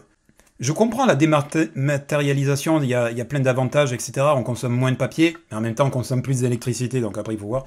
Mais euh, je suis quand même pour garder. Et, là, tu vois, c'est moi qui suis conservateur, parce que le conservatisme, euh, c'est pas euh, latéralisé. Tous les gens de droite sont conservateurs et aucun gens de gauche n'est conservateur. Exactement. Voilà. Donc moi, j'ai aussi mes conservatismes et on en a tous. Et là, tu vois, je, je suis pour garder, jusqu'à ce que ça devienne absolument obsolète, un vieux système de, de fonctionnement, parce qu'il y aura encore des gens qui, qui fonctionneront comme ça, quoi. Oui, oui humainement, humainement en plus, je pense que c'est toujours mieux. Euh, moi, je suis très porté sur, euh, bah, comment, je comment tu appelles ça, une spiritualité humaine. C'est-à-dire que j'apporte beaucoup d'importance euh, aux, aux, discussions entre les gens, entre, entre, voilà, par exemple, la caissière. je préfère plus mieux passer par une caissière, lui dire bonjour. En plus, je raconte des fois des blagues. Donc voilà, je préfère plus voir une caissière ou un caissier plutôt qu'une machine automatique. Il y a plein de domaines comme ça, comme comme par exemple, au lieu qu'on va à la mairie, on, tout se passe par Internet, je préfère plus aller à la mairie qu'une personne humaine m'explique parce qu'il y a toujours des, des, trucs qu'on ne comprend pas et que les applications n'expliquent mal, en fait. Tout à fait. Euh, moi, je suis pour un côté connecté à l'humanité. D'ailleurs, là, on commence à bifurquer, mais c'est une question intéressante sur le futur et la technologie. Ah, d'accord, ok. Ouais, ouais. Mais bon, ça viendra. Ça viendra. C'est le sujet, c'est un sujet important, ça. du coup, tout à l'heure, tu as parlé de puces RFID. c'est moi qui ai parlé, mais tu as donné ton avis. alors moi, ça va paraître drôle, mais je suis pas contre. Ah, alors écoute. Écoute, écoute, écoute. Là, actuellement, dans une société comme ça, dirigée par, euh, par ceux qui cherchent à faire la, pub, euh, gagner des sous, tout ça, je trouve que c'est une très mauvaise idée. Mais dans une, société mature, comme tu dis, je trouve que qui, cherche à apporter vraiment le bien aux, gens, avoir une puce, quelque chose qui est connecté en, toi, où tu as ton identité, où tu as euh, ton argent, où tu as ton truc de santé, euh, je ne sais plus quoi d'autre, je trouve que ça peut être un avantage super intéressant euh, humainement. C'est un peu comme euh, l'équivalent de la carte bleue qui, remplace, qui remplace un peu l'argent l'argent papier. du, coup, du coup, en soi, actuellement, je dirais que non. S'il y a une puce RFID qui se met en place avec une horreur, une horreur et un contrôle des masses catastrophique, mais d'un point de euh, point de vue humaniste, une société utopiste idéale, je trouve que ça peut être un avantage super intéressant. Euh, et puis voilà. Et surtout qu'en plus, on peut géolocaliser. C'est-à-dire, imagine, tu as un randonneur qui, bon, tu as un mec qui, quelqu'un qui se fait kidnapper ou quelqu'un qui va faire une randonnée, il se perd, ça peut, l'État, enfin, enfin, techniquement, on peut tous, on peut, on peut savoir où la personne euh, se trouve. Après, bien sûr, c'est pas utilisé entre toutes les mains. enfin, comment dire. par exemple, que n'importe qui ne peut pas décliner l'identité euh, en juste en touchant la main. Euh, voilà. Mais l'idée d'une puce, comme l'idée de mettre des caméras euh, en ville, tout ça pour la sécurité, je retrouve que c'est en Asie, ça se passe, il y en a beaucoup, en Japon et en Corée. Je trouve que ça, que la population, elle, dans une société idéale, ça peut, comment dire, ça peut, ça peut ramener une, une énorme sécurité et beaucoup d'avantages. Ok, je, je comprends et je, je, comprends ce que, ce que tu dis. Alors, de mon point de vue, il y a, deux trucs. Au niveau personnel, je suis pas vacciné pour le, par le Covid, euh, pour le, par le Covid, pour le Covid. Je n'ai pas de tatou, je n'ai pas de, je ne porte même pas mon alliance euh, au, au, grand, euh, aux grandes dames de mon épouse. J'ai pas de tatou, j'ai pas de bijoux, j'ai pas de piercing, j'ai rien du tout. c'est ma propre philosophie, je l'impose à, personne. Mais voilà, mon corps, enfin, j'ai subi des opérations de santé, des trucs comme ça, mais on n'y touche pas quoi. Donc, encore mon choix. Voilà, tu vois. Euh, mais ça, c'est vraiment au niveau euh, individuel. Donc, ce que je veux dire par là, c'est que j'entendrai que d'autres personnes disent la même chose. Moi, euh, mon corps, on fout, fout rien dedans, quoi. mais à, la limite, ça c'est anecdotique. Par contre, le deuxième truc, c'est que oui, toi et moi, on espère, on souhaite une société idéale. Moi, j'ai plutôt tendance à penser que la nature humaine est bonne. Toi, tu as plutôt tendance à penser qu'elle est neutre, mais qu'il suffit d'un petit rien pour qu'on fasse, fasse des conneries. Mais dans tous les cas, que ce soit nature humaine bonne ou neutre, etc., ça sera pas demain la veille qu'on sera, euh, qu'on atteindra le niveau de sagesse et d'humanité que toi et moi on souhaite. Toi et moi on le verra pas, nos enfants ne le verront certainement pas, et certainement pas que nos petits enfants non plus, etc., etc. Même si je souhaite que ça arrive le plus tôt possible. Ce que je veux te dire par là, c'est que si tu mets une, une puce RFID dans une société qui marche bien, rien ne dit que cette société qui marche bien ne sera pas compromise et corrompue par euh, des totalitaires ou euh, n'importe quoi, quoi. Tu vois? Et donc, cet outil absolument fantastique peut devenir ta destruction, quoi. Tu vois Parce que là, tout le monde. Hein? Ton pire ennemi, en quelque voilà. sorte, ouais. Voilà, donc. Euh, moi, je préfère. Je crois que ça existe, je sais plus dans quel pays de l'Est, là, qui sont plus avancés que nous. Ils ont une carte, genre la carte vitale, ou non, c'est une carte d'identité, mais en fait, c'est carte d'identité, carte vitale, passeport Navigo, ou je sais pas comment on dit là, blablabla, bla, bla, enfin, ça fait tout, quoi. Donc là, oui, que la puce, elle soit dans une carte plastique qui est en dehors de moi et que je peux prendre et, ne pas prendre quand, j'en ai pas envie, euh, ça, je suis absolument pour. Mais foutre directement un truc dans mon corps, à la fois au niveau éthique personnel, je veux rien qu'on mette dans mon corps, et aussi je me dis, ouais, donc là, la, la, société, elle marche bien. Mais si demain, c'est je sais pas qui qui prend le pouvoir, euh, putain, on est tous des marionnettes, quoi, tu vois. Alors, tu as raison, justement, j'allais t'en parler. Sinon, une carte, qui peut faire, euh, qui peut faire ces choses-là. Le problème avec une carte, c'est que tu peux te la faire voler. Ouais, tu peux la perdre. Euh, Voilà, tu peux la perdre. Après, est-ce qu'on peut faire un truc avec un code ou mettre deux codes, comme nos adresses mail en quelque sorte, ou s'il y a un problème, tu la casses ou tu la perds, tout de suite, tu appelles bah, l'État et il y a une agence qui s'occupe de, de, bloquer la carte et de t'en renvoyer une autre. Ouais, mais... voir ça aussi. Voilà, ça, ça, ça existe déjà. À mon avis, c'est plus sécurisant qu'une puce RFID, de mon point de vue. Après, si la majorité, encore une fois, dit qu'il faut mettre une puce RFID, non, là, ça me ferait chier quand même. Je, dis, je change de pays, moi. D'ailleurs, tu sais... Euh, d'ailleurs, d'ailleurs, ça doit être... Euh, enfin, évidemment que c'est autorisé euh, de, partir du pays si, si, jamais il y a une règle en particulier sur laquelle tu es complètement opposé et que malheureusement, il y a même le quorum qui est pour, et toi, tu dis, mais putain, je suis le seul à penser comme ça, je me casse, quoi, tu vois. Ça, ça doit être possible. Mhm. Euh, je voulais revenir un instant euh, pour, euh, pour élaborer là-dessus sur le, le, libéral. Il faudrait. T'as dit plein de trucs, il faudrait que je revienne dessus, mais sur le libéralisme économique et les, et les patrons qui, une fois qu'ils atteignent le niveau et qu'on intervient dans l'entreprise, pourraient réagir de différentes façons. Donc, si c'est un bon patron, il va dire bon, ok, je me plie à la règle et tout. Si c'est un mauvais patron, ceci, cela. Il y a aussi moi, je n'exclus pas du tout la, possibilité, et qui est une, réalité, on le voit d'ailleurs aujourd'hui, qui se casse. Tu vois, il dit, ouais, ben, si c'est comme ça, la France, euh, euh, il y a trop de règles, il y a trop de réglementation, moi je me casse. Mais casse-toi, mon pote, tu es libre de te casser. Donc, ça fera une certaine perte pour la, société, parce que la, société en tant que, je veux dire, le pays, quoi.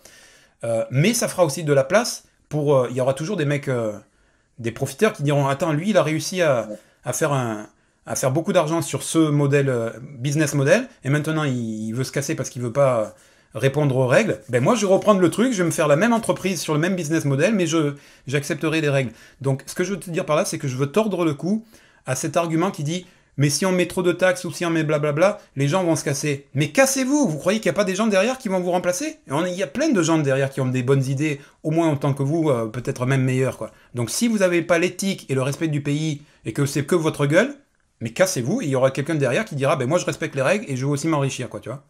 Enfin, c'est mon idée. Alors en fait, tu vois, je me rappelle quand je t'avais parlé de ça, j'étais un peu en désaccord, mais plutôt en mode euh, un petit, un petit contre-argument.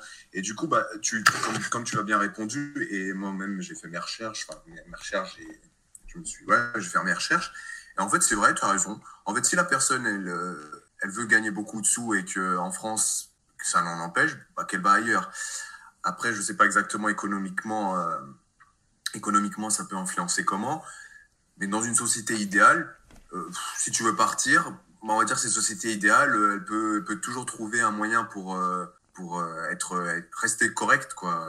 Comme tu dis, il y a quelqu'un qui peut la remplacer. Et tu sais, je t'avais dit que j'avais lu un livre. Utopia J'ai commencé. Ouais, alors non, c'était pas Utopia, justement, parce que c'est un groupe pavé, celui-là. Je vais attendre un peu avant de commencer. J'ai lu un plus petit livre qui s'appelle Un pays de, de, de, fantômes, un truc comme oui. Tu m'as dit, ouais. Je ne l'ai pas lu jusqu'à la fin, je l'ai survolé.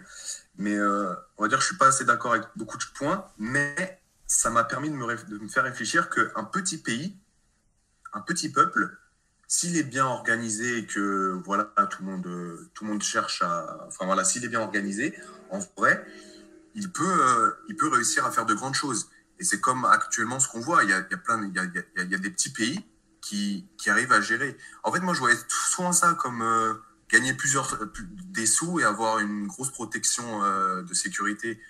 Mais en vrai, tu peux avoir par exemple une bonne sécurité, euh, niveau militaire, etc., pour empêcher les autres pays tyranniques d'envahir. Tu peux avoir une bonne protection et en même temps de vivre comme tu dis avec des choses simples. Tu n'as pas besoin d'avoir une entreprise qui fabrique toujours tous les ans le dernier iPhone euh, tu peux avoir une entreprise qui fabrique des téléphones qui fait de son mieux, mais que la population l'utilise et qu'il n'y a pas de souci, et vivre, euh, et vivre correctement, quoi, sans, sans ces patrons, comme tu dis, qui cherchent à s'enrichir le plus possible en allant, en, en allant apporter euh, leur business dans d'autres pays, enfin, en allant s'implanter dans d'autres pays comme en Chine, etc.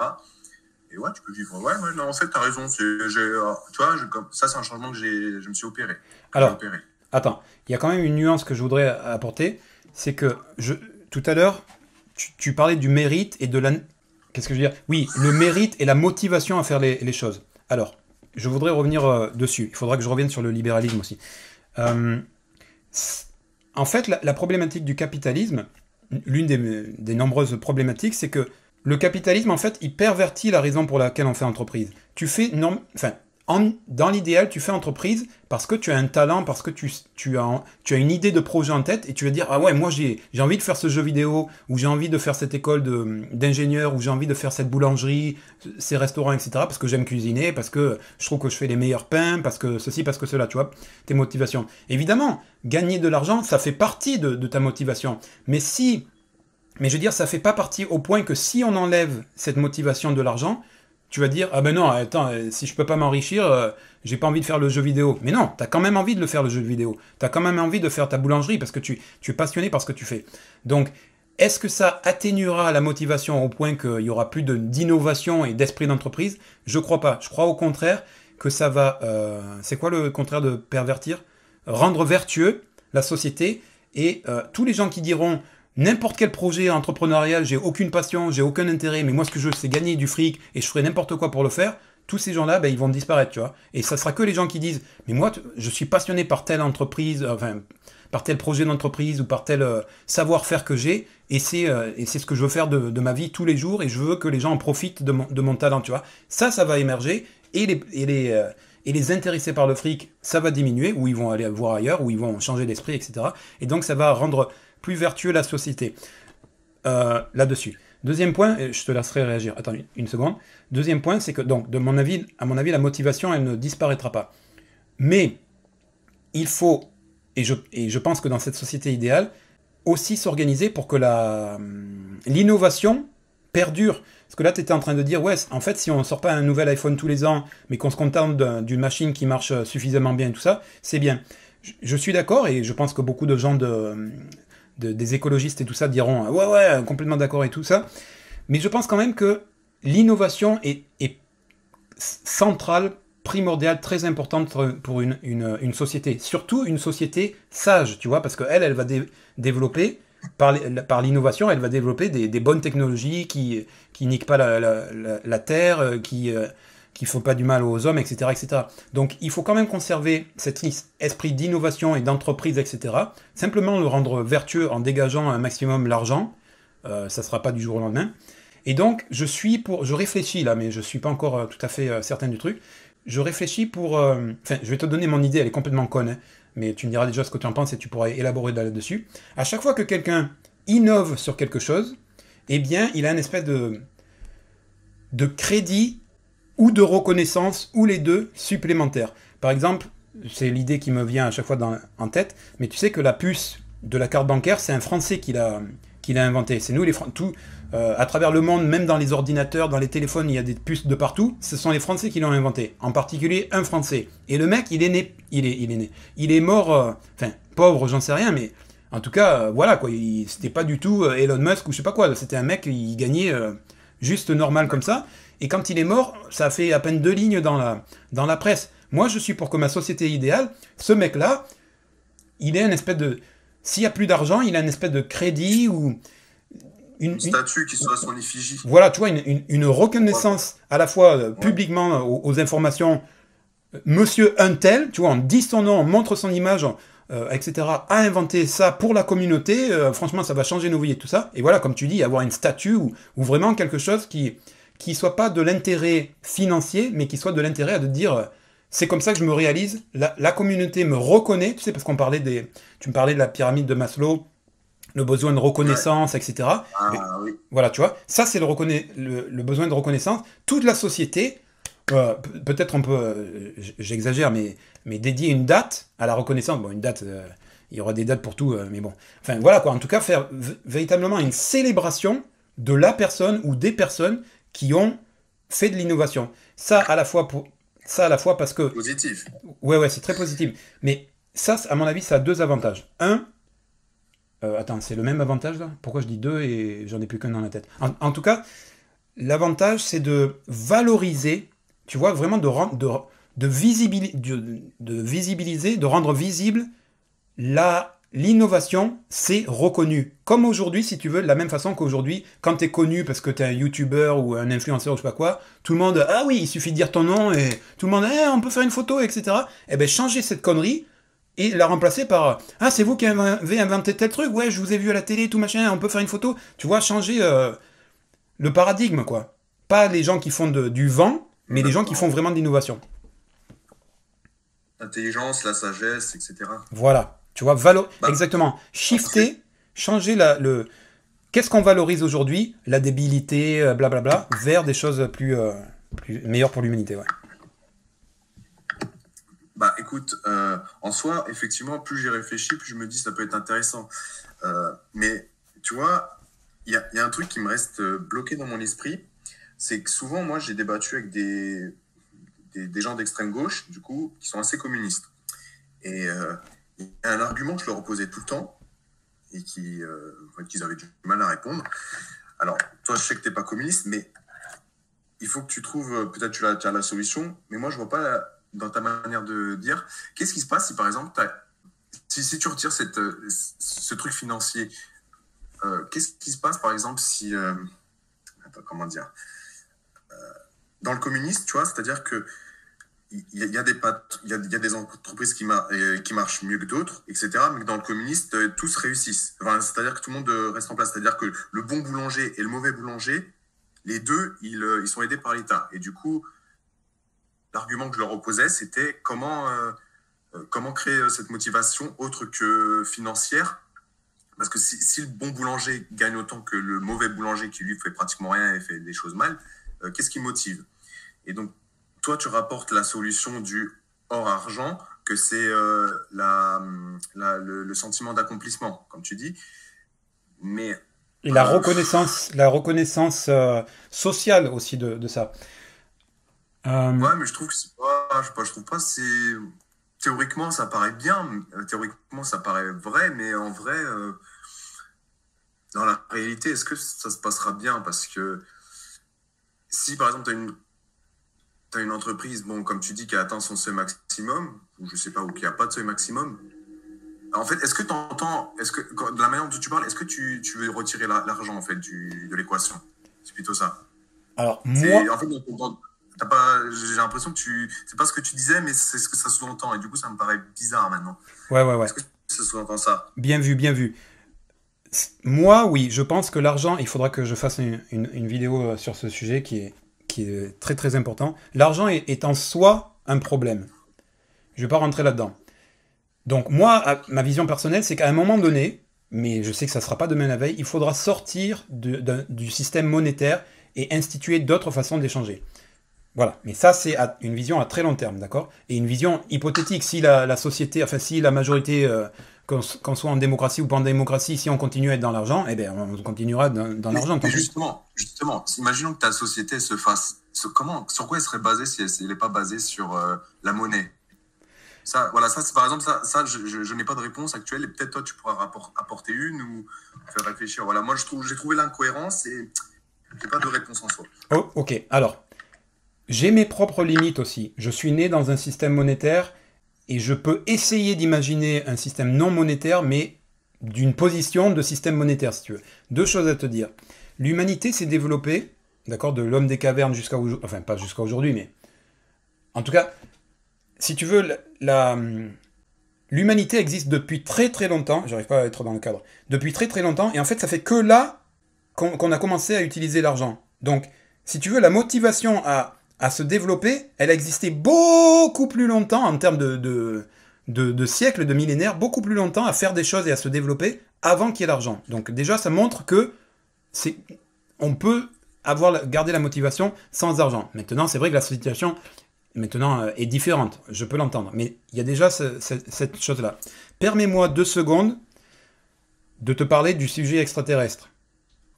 C'est bizarre, mais si on considère que c'est un sujet réel, certains témoignages sont réels, etc., il paraîtrait, je mets des gros guillemets, etc., qu'il y a des, civilisations très évoluées, puisqu'elles sont capables de venir jusqu'ici, donc elles sont très évoluées, qui ne connaissent pas l'argent, et voire même qui n'ont jamais connu l'argent. Et pourtant, elles se sont développées au point, beaucoup plus que nous, au point de venir ici, tu vois.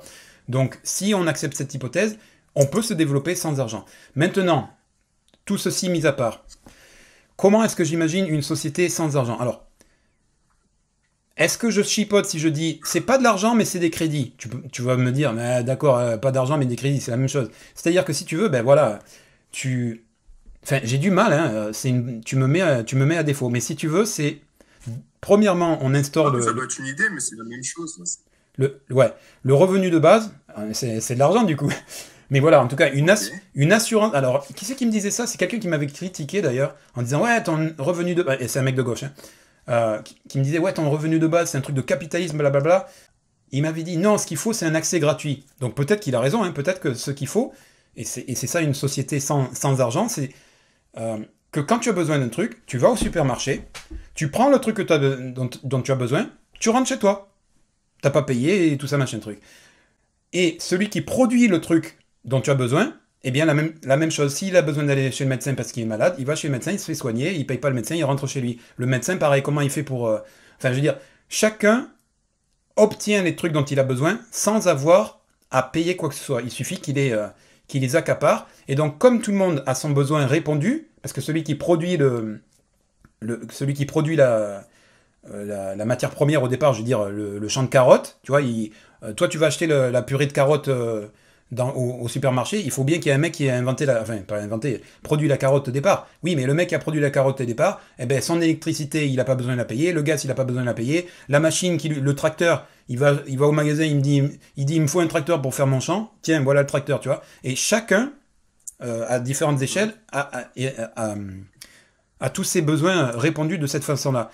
Bien sûr, encore une fois, si tu pars de la situation actuelle et que le lendemain c'est on, est dans la société que je te dis, ça marche pas parce que pourquoi on est tellement habitué au manque et à la volonté de possession que ah ouais, il y a plus besoin de payer, putain, je vais aller au magasin, je vais tout prendre, ça ça veut rien dire, tu vois, mais c'est ce qu'on va faire. T'as pas besoin de de, de, tout ça, mais euh, voilà. Donc il y a il y a une, un, un, degré, une période de temps nécessaire pour tu peux pas faire du jour au lendemain, quoi. C'est ce qu'on disait tout à l'heure. Il faut. Euh, c'est une période de transition. Voilà. Mais je pense quand même qu'avec la période de transition, et je ne serai pas l'inventer à moi tout seul, à un moment donné, on, peut arriver à une, civilisation qui dit Mais pourquoi est-ce que je vais. Euh, il me faut une voiture. Ah ben je veux une Ferrari, tu vois. Non, les gens ils vont dire euh, Ouais, euh, peut-être que ce week-end, tiens, je vais prendre une Ferrari. Ben voilà, tu vas prendre la Ferrari le week-end et tu, la, et tu dis Ouais, bon, la Ferrari quand même. c'est pas pratique tous les jours, donc hop, je la ramène, quoi, tu vois. Et puis dans ma vie de tous les jours, je vais prendre, je sais pas moi, une, voiture plus banale, quoi, tu vois. Tu vois ce que je veux dire? Mm-hmm. Pas d'exagération, des plaisirs sans exagération, quoi. Qu'est-ce que t'en penses? Alors, euh, alors, je vais répondre sur les trois points que tu as parlé assez rapidement. Euh, pour les extraterrestres et l'argent, alors déjà, moi, je suis pas très. Euh, j'y crois pas en fait que les extraterrestres sont venus nous visiter. C'est une possibilité, mais. D'accord. Voilà, je ne vais pas, affirmer, mais par, par, par non-croyant, je, vais plutôt me positionner en faveur que tant qu'on ne l'ai pas vu, je n'y crois pas. mais, mais dans tous les cas, même si c'était le cas, ces extraterrestres sont biologiquement très différents de nous, êtres humains. Donc, euh, comme les abeilles, tu vois, ils ont, les guêpes, ils ont leur euh, système, euh, manière de, s'organiser, les singes aussi, etc. Les extraterrestres, il n'est pas impossible qu'ils ont leur manière de faire qui, effectivement, soit totalement en dehors du concept d'argent. Mais, mais nous, humains, qui sommes, qui sommes biologiquement évolués pour, d'une certaine manière, il n'est pas impossible que l'argent soit un besoin naturel que nous-mêmes on s'est instauré. Donc ça, c'est le premier argument. Et je, le compléterai en parlant d'une chaîne YouTube qui va super bien t'intéresser, qui s'appelle Balade mentale. Ok. Prends, prends, note. Ouais. Alors, il a fait deux, trois vidéos sur le sujet des extraterrestres. Euh, euh, ah. pourquoi est-ce qu'on les entend pas, etc.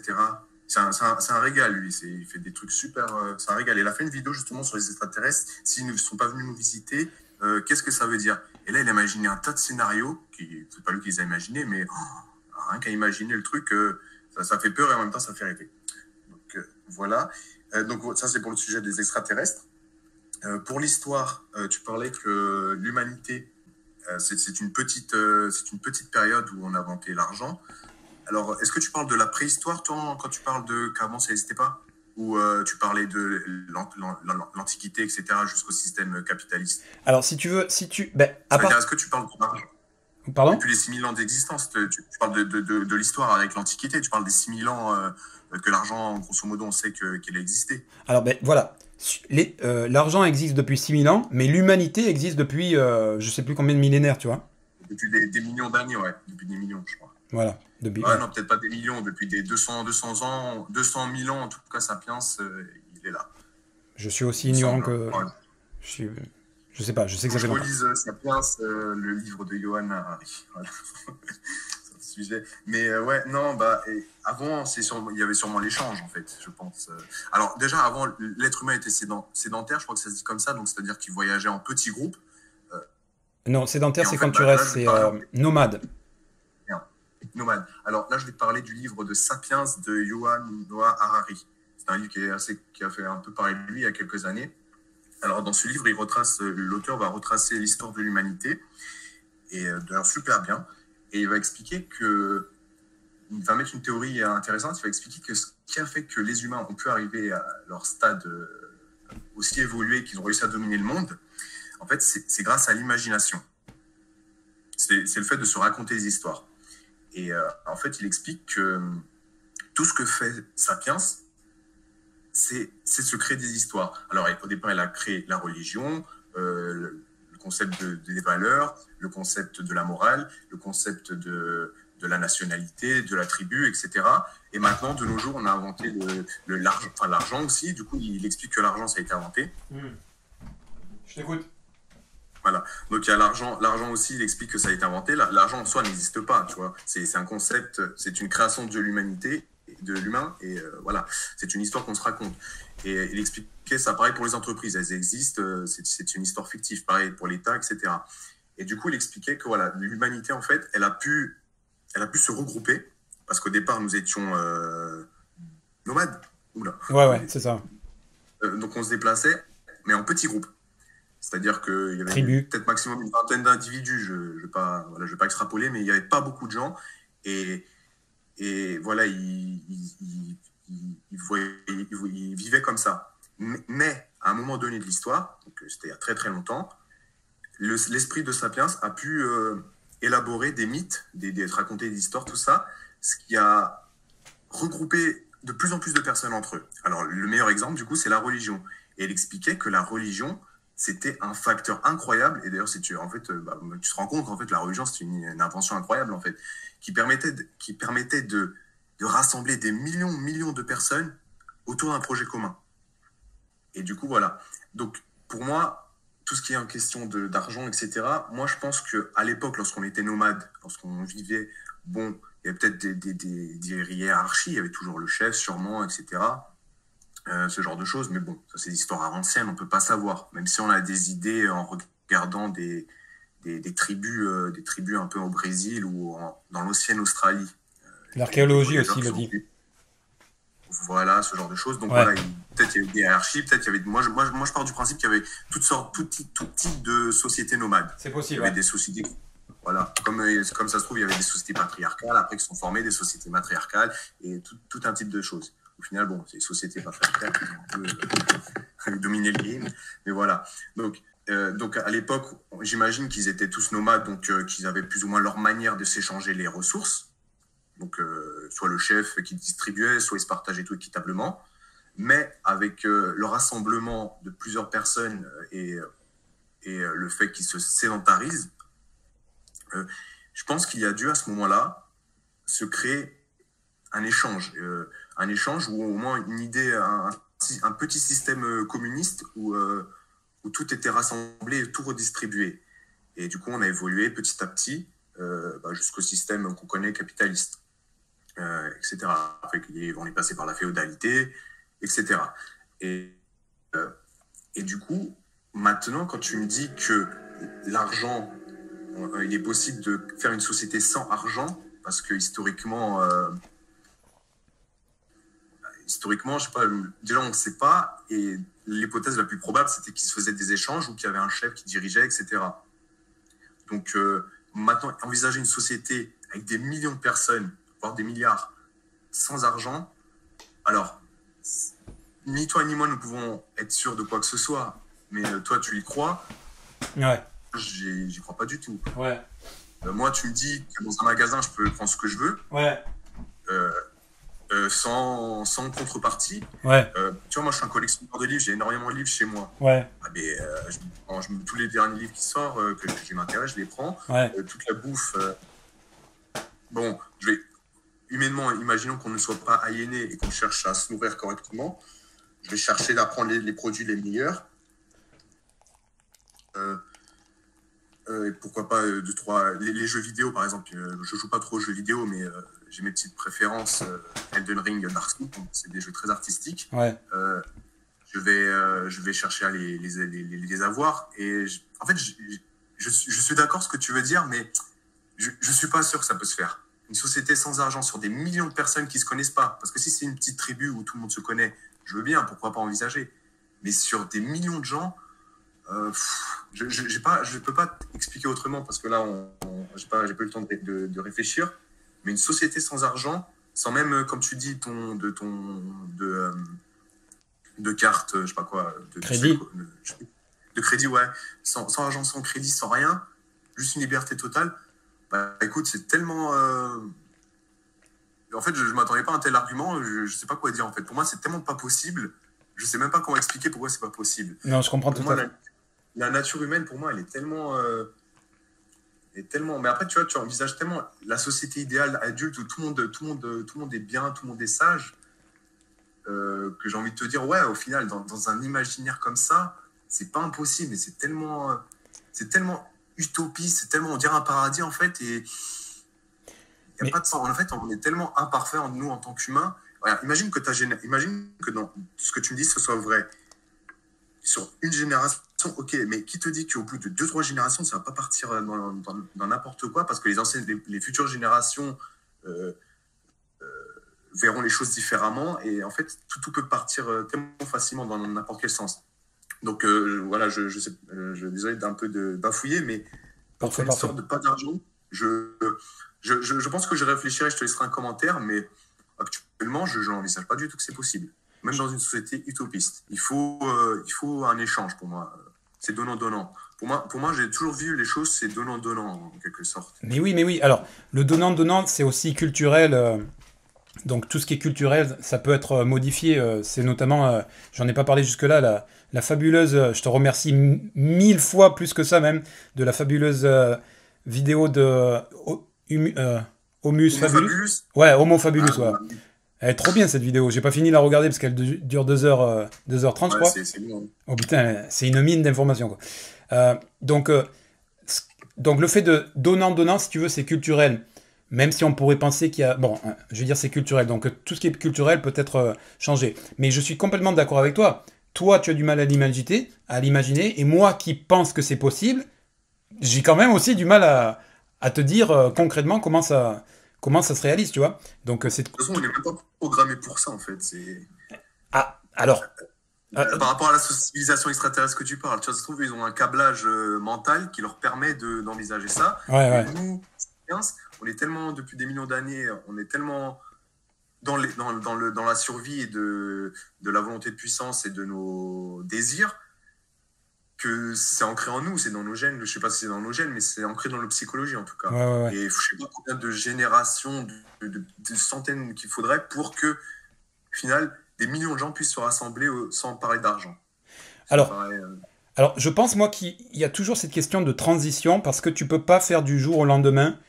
Euh, et d'ailleurs, je fais une petite parenthèse encore extraterrestre, mais soi-disant certains extraterrestres disent que il pourrait pas arriver ici et faire comme certains le, souhaitent. Euh, venez, euh, montrez-vous à nous et faites de la Terre un paradis, parce qu'ils disent c'est c'est pas possible d'appliquer nos méthodes à vous. Il y a, euh, et comme tu dis un peu, psycho ils, le disent, psychologiquement, vous n'êtes pas prêt, quoi. Donc ça marcherait pas.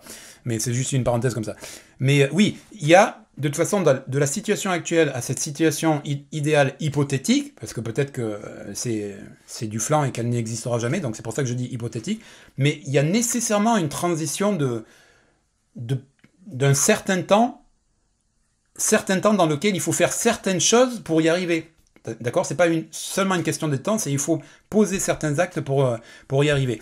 Donc, j'imagine, enfin, je, propose des, des, idées. Le fait voilà, de passer d'une société monétaire à une société du crédit, c'est-à-dire de, en réalité d'une dématérialisation de la monnaie. Et donc il te suffit de montrer une carte, et c'est ce qui est en train d'arriver. Hein. Il te suffit de montrer une carte ou de la mettre euh, ou même d'ailleurs ton téléphone sur un bordel. Les générations d'aujourd'hui, peut-être, euh, ils savent plus ce que c'est que l'argent euh, physique, quoi, tu vois. Mais eux, ils disent, ouais, j'ai du crédit ou je sais pas quoi, et je fais comme ça et, j'obtiens mon truc. Donc ça, c'est déjà une première étape. Mais effectivement, je, je comprends ce que tu veux dire, même. Enfin, je comprends ce que tu veux dire comme aujourd'hui, on est dans une société du manque à la fois, d'accord Il faut travailler pour survivre, euh, etc. Comment on dit Gagner sa vie, tu vois À la fois ça. Et, euh, à la fois une société du désir, le, capitalisme dit euh, regardez, publicité, tout ce que vous pourriez avoir, etc., machin truc, eh bien, on est poussé à aller s'accaparer les trucs, tu vois. Donc si demain on dit que c'est gratuit, on va se jeter sur tout ce qu'on veut. Je sais pas combien de temps ça prendra. Peut-être que ça prendra longtemps, peut-être qu'en fait, il y aura une espèce de, de, de curie, d'écurie, non merde, comment on dit là? C'est-à-dire, euh, ouais, tu sais, comme euh, les, images qu'on voit, euh, c'est les c'est Black Friday, ils, ils, ils, défoncent les grilles, ils prennent tout. Il y aura peut-être ça, tu vois, et au bout d'un moment, ben, on sera tellement rassasié, on sera tellement écœuré même de dire, ouais, j'ai tout ce que je veux, j'en peux plus, tu vois, qu'il y aura une, une, une descente du shoot et on se dirait, mais en fait, euh, n'importe quoi, quoi, tu vois. Alors peut-être que ça prendra beaucoup plus de temps que ce que je le souhaite, mais peut-être qu'il suffit de, voilà, une grosse overdose de consommation. Oui, euh, il n'y a plus de prix, euh, prenez ce que vous voulez. Ouais, blablabla, et, et, au final, on se dira, ben non, en fait, ben, demain j'y retourne et je reprends ce que j'ai besoin, et puis voilà, quoi, c'est tout, quoi. Donc, mais en tout cas, voilà, comme on est sous perfusion, il faut survivre, il faut travailler, il faut du labeur pour pouvoir acquérir ce dont tu as besoin pour vivre. Et comme on te dit, consomme, consomme, consomme, bien sûr, si demain euh, si demain on met cette situation, euh, enfin je veux dire, bien sûr, on ne peut pas s'imaginer ce que je dis. Donc c'est pour ça qu'il faut du temps pour se dé... Et toi et moi et nos enfants, etc., ils, seront dans ce même système de pensée et il faudra beaucoup de temps pour se dé, euh, désaccoutumer de, ce truc-là. Mais comme je pense que c'est une organisation, et peut-être que là, toi et moi, on a pas un désaccord, mais une vision différente, comme je pense que moi c'est surtout culturel, même si je ne nie pas, et grâce à, la vidéo que tu as partagée de Homo Fabulus, même si je nie pas qu'il y a dedans euh, des gènes, des gènes qui font que la survie a engendré qu'il fallait faire tel et tel comportement qu'on a répété pendant tellement longtemps que le mode survie est super ancré dans nos gènes, je ne nie pas ça, mais malgré tout, je pense que, on, notamment par l'organisation sociale, l'éducation, etc., les règles, etc., on peut aussi modifier les gènes parce que ces gènes si tu veux, ce qui ce qui est naturel n'est pas immuable, tu vois. Même le naturel et même sans culturel, même sans société, mue. Le, les conditions naturelles font que tes gènes vont muer d'une certaine façon. Donc si culturellement on, prend conscience de certaines choses et qu'on veut aller dans une certaine direction, ça va pas se faire du jour au lendemain, mais on pourra aussi modifier pas seulement nos comportements, pas seulement notre psychologie, mais aussi jusqu'à nos gènes, je pense. Ah oui, oui, effectivement, avec nos gènes, euh, mais ça, ça peut se faire sur plusieurs générations. Après, génération. Après, est-ce qu'on est courageux d'attendre jusqu'à quoi Alors, euh, dis-moi. Euh, je vais reprendre euh, Qu'est-ce que j'ai marqué? Parce que j'ai une petite feuille où je note. Euh, ouais, tu parles vite fait pour la vidéo YouTube. Alors moi, j'ai quand je regarde, je regarde beaucoup de vidéos YouTube. Moi, je, c'est une de mes passions. Je sais pas, c'est sympa. Moi aussi. Et je trouve qu'il y a beaucoup de bons créateurs, beaucoup de choses à apprendre. Plus qu'à la Le problème, c'est comme tu dis, effectivement, des fois, il y a des, des vidéos qui durent énormément de temps. Alors moi, j'ai une stratégie, je sais pas si tu l'as fait, c'est de regarder, euh, d'augmenter la vitesse. Ouais. Tu peux, sur YouTube, augmenter la vitesse. Alors, euh, tu regardes à quelle vitesse, toi?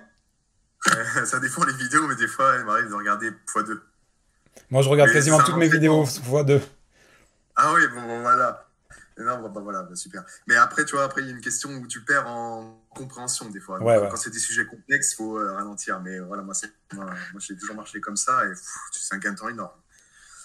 Euh, à mon avis, ça aura des implications euh, si on est nombreux à le faire au niveau de, de la connexion cérébrale, je pense. Ah, et bah ouais, bah du coup, euh, ouais, attends, et du coup, argent papier, pourquoi j'ai marqué ça, argent papier? Ah oui, pour l'argent papier, juste un truc, c'est que moi aussi je suis pour une dématérialisation de l'argent, mais encore une fois, c'est comme ce que j'avais dit pour la puce, pour la puce, pas actuellement, parce qu'actuellement, c'est-à-dire qu'il y a les riches, il y a les pauvres, etc. Et euh, on va dire que ceux qui sont au-dessus, ils arrivent à se mettre plein les poches facilement. Et nous, les petits gens, s'appelait les petits gens, euh, nous sommes soumis techniquement à notre travail et notre travail nous donne euh, de l'argent, qui notre argent est prélevé, etc., etc. Et du coup, bah, certaines personnes peuvent utiliser, peuvent avoir des stratégies pour survivre, du coup, vu que la vie, elle augmente, elle augmente et que nous, notre, notre, notre argent n'augmente pas. C'est de, bah, faire du travail au black, malheureusement. Et euh, certaines personnes qui sont douées, qui sont euh, mécanos, euh, mécanos, plombiers, etc., ils peuvent rendre service en échange bah, du coup de l'argent papier qui, lui, ne peut pas être perçu par cet état actuel. Et du coup, pour les petits gens dans les sociétés actuelles, c'est un des moyens qu'ils ont pour survivre. moi, je trouve ça que c'est une bonne chose, même si c'est un peu illégal. Je trouve que bon, l'État ne fait rien, donc les gens ils cherchent à survivre par leurs propres moyens. Et, euh, mais dans un monde dans un monde idéal futuriste, c'est vrai que si on retire cet argent, euh, cet argent papier, du coup, bah, les petits gens, euh, tout se passera par électronique, électroniquement. Donc à ce moment-là, d'accord. Mais d'une certaine manière, comme tu dis, vu qu'il y a un seuil minimum, bah, les gens n'ont pas à s'inquiéter pour toujours parce que là, l'argent que les gens font en black pour survivre, c'est parce que bah, ils pourront arrondir leur fin de main, parce que les impôts, le, crédit, etc., ça leur prend énormément. Donc les gens, les, petits gens, les petits gens qui peuvent faire ça, c'est un moyen, c'est euh, un des moyens qu'ils ont trouvé pour survivre. Et donc je leur en veux pas du tout. Mais dans une société futuriste, euh, dans une société idéale future, future, on peut envisager de, s'il y a effectivement un salaire minimum, qu'on puisse maintenant retirer cet argent papier. Voilà, euh, ça c'est pour ce point-ci. Et deuxième point, qu'est-ce que j'ai marqué? Ah oui, pour, ta question de où tout le monde va partir prendre la, de, la, de la nourriture, etc., et qu'après ça va se calmer. Euh, bah, le problème, c'est que si, imaginons, dans ta société, tout se passe bien. Voilà. Il suffit, on est d'accord, comme le Covid, qui a une petite pénurie, une petite, un petit avis, tu vois, genre manque de papier, il risque de manquer de papier toilette. Et là, tu as un déferlement de tout le monde qui se jette et effectivement, il y a une pénurie de papier toilette. Et euh, dans ta société, si justement au contraire, il n'y a pas, même, ça peut être encore pire parce que justement, même s'il n'y a pas cette question d'argent, il suffit juste que les gens entre eux se parlent et que disent Ah, tiens, il peut y avoir une pénurie de je sais pas quoi, et ben, que tout le monde va en magasin. Et euh, c'est comme si tout le monde va à la banque réclamer leurs sous. À un moment, la banque, elle, ne les a pas. Et ça peut être la même chose si tout le monde va réclamer euh, dans les magasins l'eau, du papier toilette, euh, des pâtes, qu'il y a une pénurie. C'est un petit défaut. Et dernière chose, overdose de consommation. Euh, tu parlais d'overdose de consommation. Ah oui, par rapport à la... Euh, tu disais que peut-être que les, sur différentes générations, on peut avoir, on peut avoir ce, nouveau câblage neuronal ou, dans l'ADN qui permet de... Mais est-ce qu'on serait prêt humainement à se dire, dans 100 ans, dans 100 ans, on va, on, va, on, veut être comme ça, donc euh, que notre câblage ne soit plus tourné vers l'argent? Actuellement, on est comme ça, et dans, et dans, dans 100 ans, dans 100 générations, je ne sais pas combien, combien, combien, de tu modifies comme ça, mais dans 100 générations, il faut qu'on soit comme ça. Et donc, ils vont instaurer des nouvelles lois techniquement totalitaires qui vont dire, bon, euh, pour l'argent, vous devez consommer le strict minimum pour que le câblage puisse se faire sur plusieurs générations. Et petit à petit, on va instaurer des nouvelles lois. Et du coup, en attendant, c'est la centième génération. J'ai l'impression qu'on va vivre sous, des règles euh, absurdes et totalitaires. En se disant, dans un futur proche, nous serons comme ça. Ouais, ouais. Euh, ça, c'est un risque. Et deuxième risque, c'est que le serpent qui se mord la queue, par exemple, tu parlais de l'overdose, qu'on dit que qu'on retire l'argent et que tout le monde euh, fait que tout le monde va au magasin prendre ce qu'il veut jusqu'à jusqu'à être totalement rassasié. C'est un serpent qui se prend la queue parce que est-ce que les, entreprises accepteraient de faire ça? Euh, Est-ce que les entreprises accepteraient de faire ça? Et, inversement, est-ce que euh, les employés accepteraient? Enfin, tu vois, c'est l'un va pas sans l'autre. Il faut que les, toutes les parties se mettent d'accord et toutes les parties n'ont pas le même intérêt. Oui. donc voilà. Ok. Je, vais commencer euh, par la fin, qui est euh, peut-être le, le, problème le plus, euh, le plus gros, de savoir de, de, cette overdose supposée et du, du, serpent qui se mord la queue, c'est-à-dire que les entreprises n'ont pas les mêmes intérêts que les, les, consommateurs. Alors, encore une fois, là on est vraiment dans, un, dans une organisation sociale tellement différente qu'aujourd'hui qu'il faut un gros effort d'imagination pour essayer de, de la concevoir et encore plus de ça, de concevoir les conséquences de cette organisation. Moi, je dis que par étape, si on garantit la vie à tout le monde, que ce soit par un revenu de base ou, par l'accès gratuit à, toutes les choses, la mentalité, le câblage, pas du jour au lendemain, mais va drastiquement, complètement changer et qu'on ne sera plus dans l'avidité de, prendre les choses. Et donc, que les, entrepreneurs aussi ne feront pas les choses par avidité à pas du gain, en espérant de vendre un maximum, euh, toujours plus de choses, mais simplement par la, réponse à leur talent, à leur intérêt à faire ce qu'ils aiment, que ce soit l'employé, enfin, moi j'aime pas trop parler d'employé dans cette euh, société, mais plutôt de collaborateurs, c'est-à-dire qu'il y a un initiateur de projet, aujourd'hui on dit patron, un mec qui veut faire un truc et qui dit ouais j'ai besoin de maçon, j'ai besoin de, de boulanger, j'ai besoin de ci, parce que moi j'ai envie de faire la, la boulangerie, mais je sais pas tout faire euh, tout seul ou je sais pas quoi, quoi, tu vois. Donc il a besoin des gens. Ah et moi je les appelle pas des travailleurs, parce que les travailleurs, tu es subordonné à un patron, mais collaborateurs, c'est-à-dire qu'une fois que tu dis euh, ah ben moi je propose mon talent, je suis pour entrer dans ce projet, eh bien on partage à égalité comment on va le développer ce projet, d'accord? Et si on n'est plus d'accord, ben on se casse quoi. Il y en a un qui se casse ou l'autre qui dit euh, je peux faire ça avec toi quoi.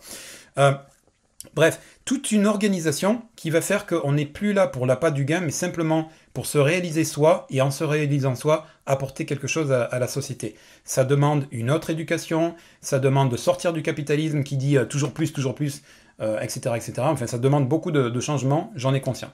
Conscience. J'en ai conscience, ouais. Euh, qu'est-ce que je veux dire? Ouais, donc à ce moment-là, ça sera plus un serpent qui se mord la queue, parce que tu n'auras pas des entreprises qui, qui diront il faut pousser les gens à ce qu'ils achètent toujours plus de, produits. Mais c'est vrai que, euh, je réponds déjà à ça, mais simplement, tant qu'il y a de la demande, on, fournit le produit. C'est-à-dire, on n'essaye pas de, pousser à la surconsommation, mais tant qu'il y a un besoin dans la société pour tel produit, eh bien, nous, notre job, c'est de, pouvoir répondre à, cette, à, ce besoin, quoi, tu vois. Euh, je comprends qu'il y a quand même un aspect théorique, parce qu'il n'y a pas que des besoins, il y a aussi de l'envie. Euh, mais... En fait, Attends, laisse-moi finir sur les, points, s'il te plaît. Mais marque ce que tu veux me dire.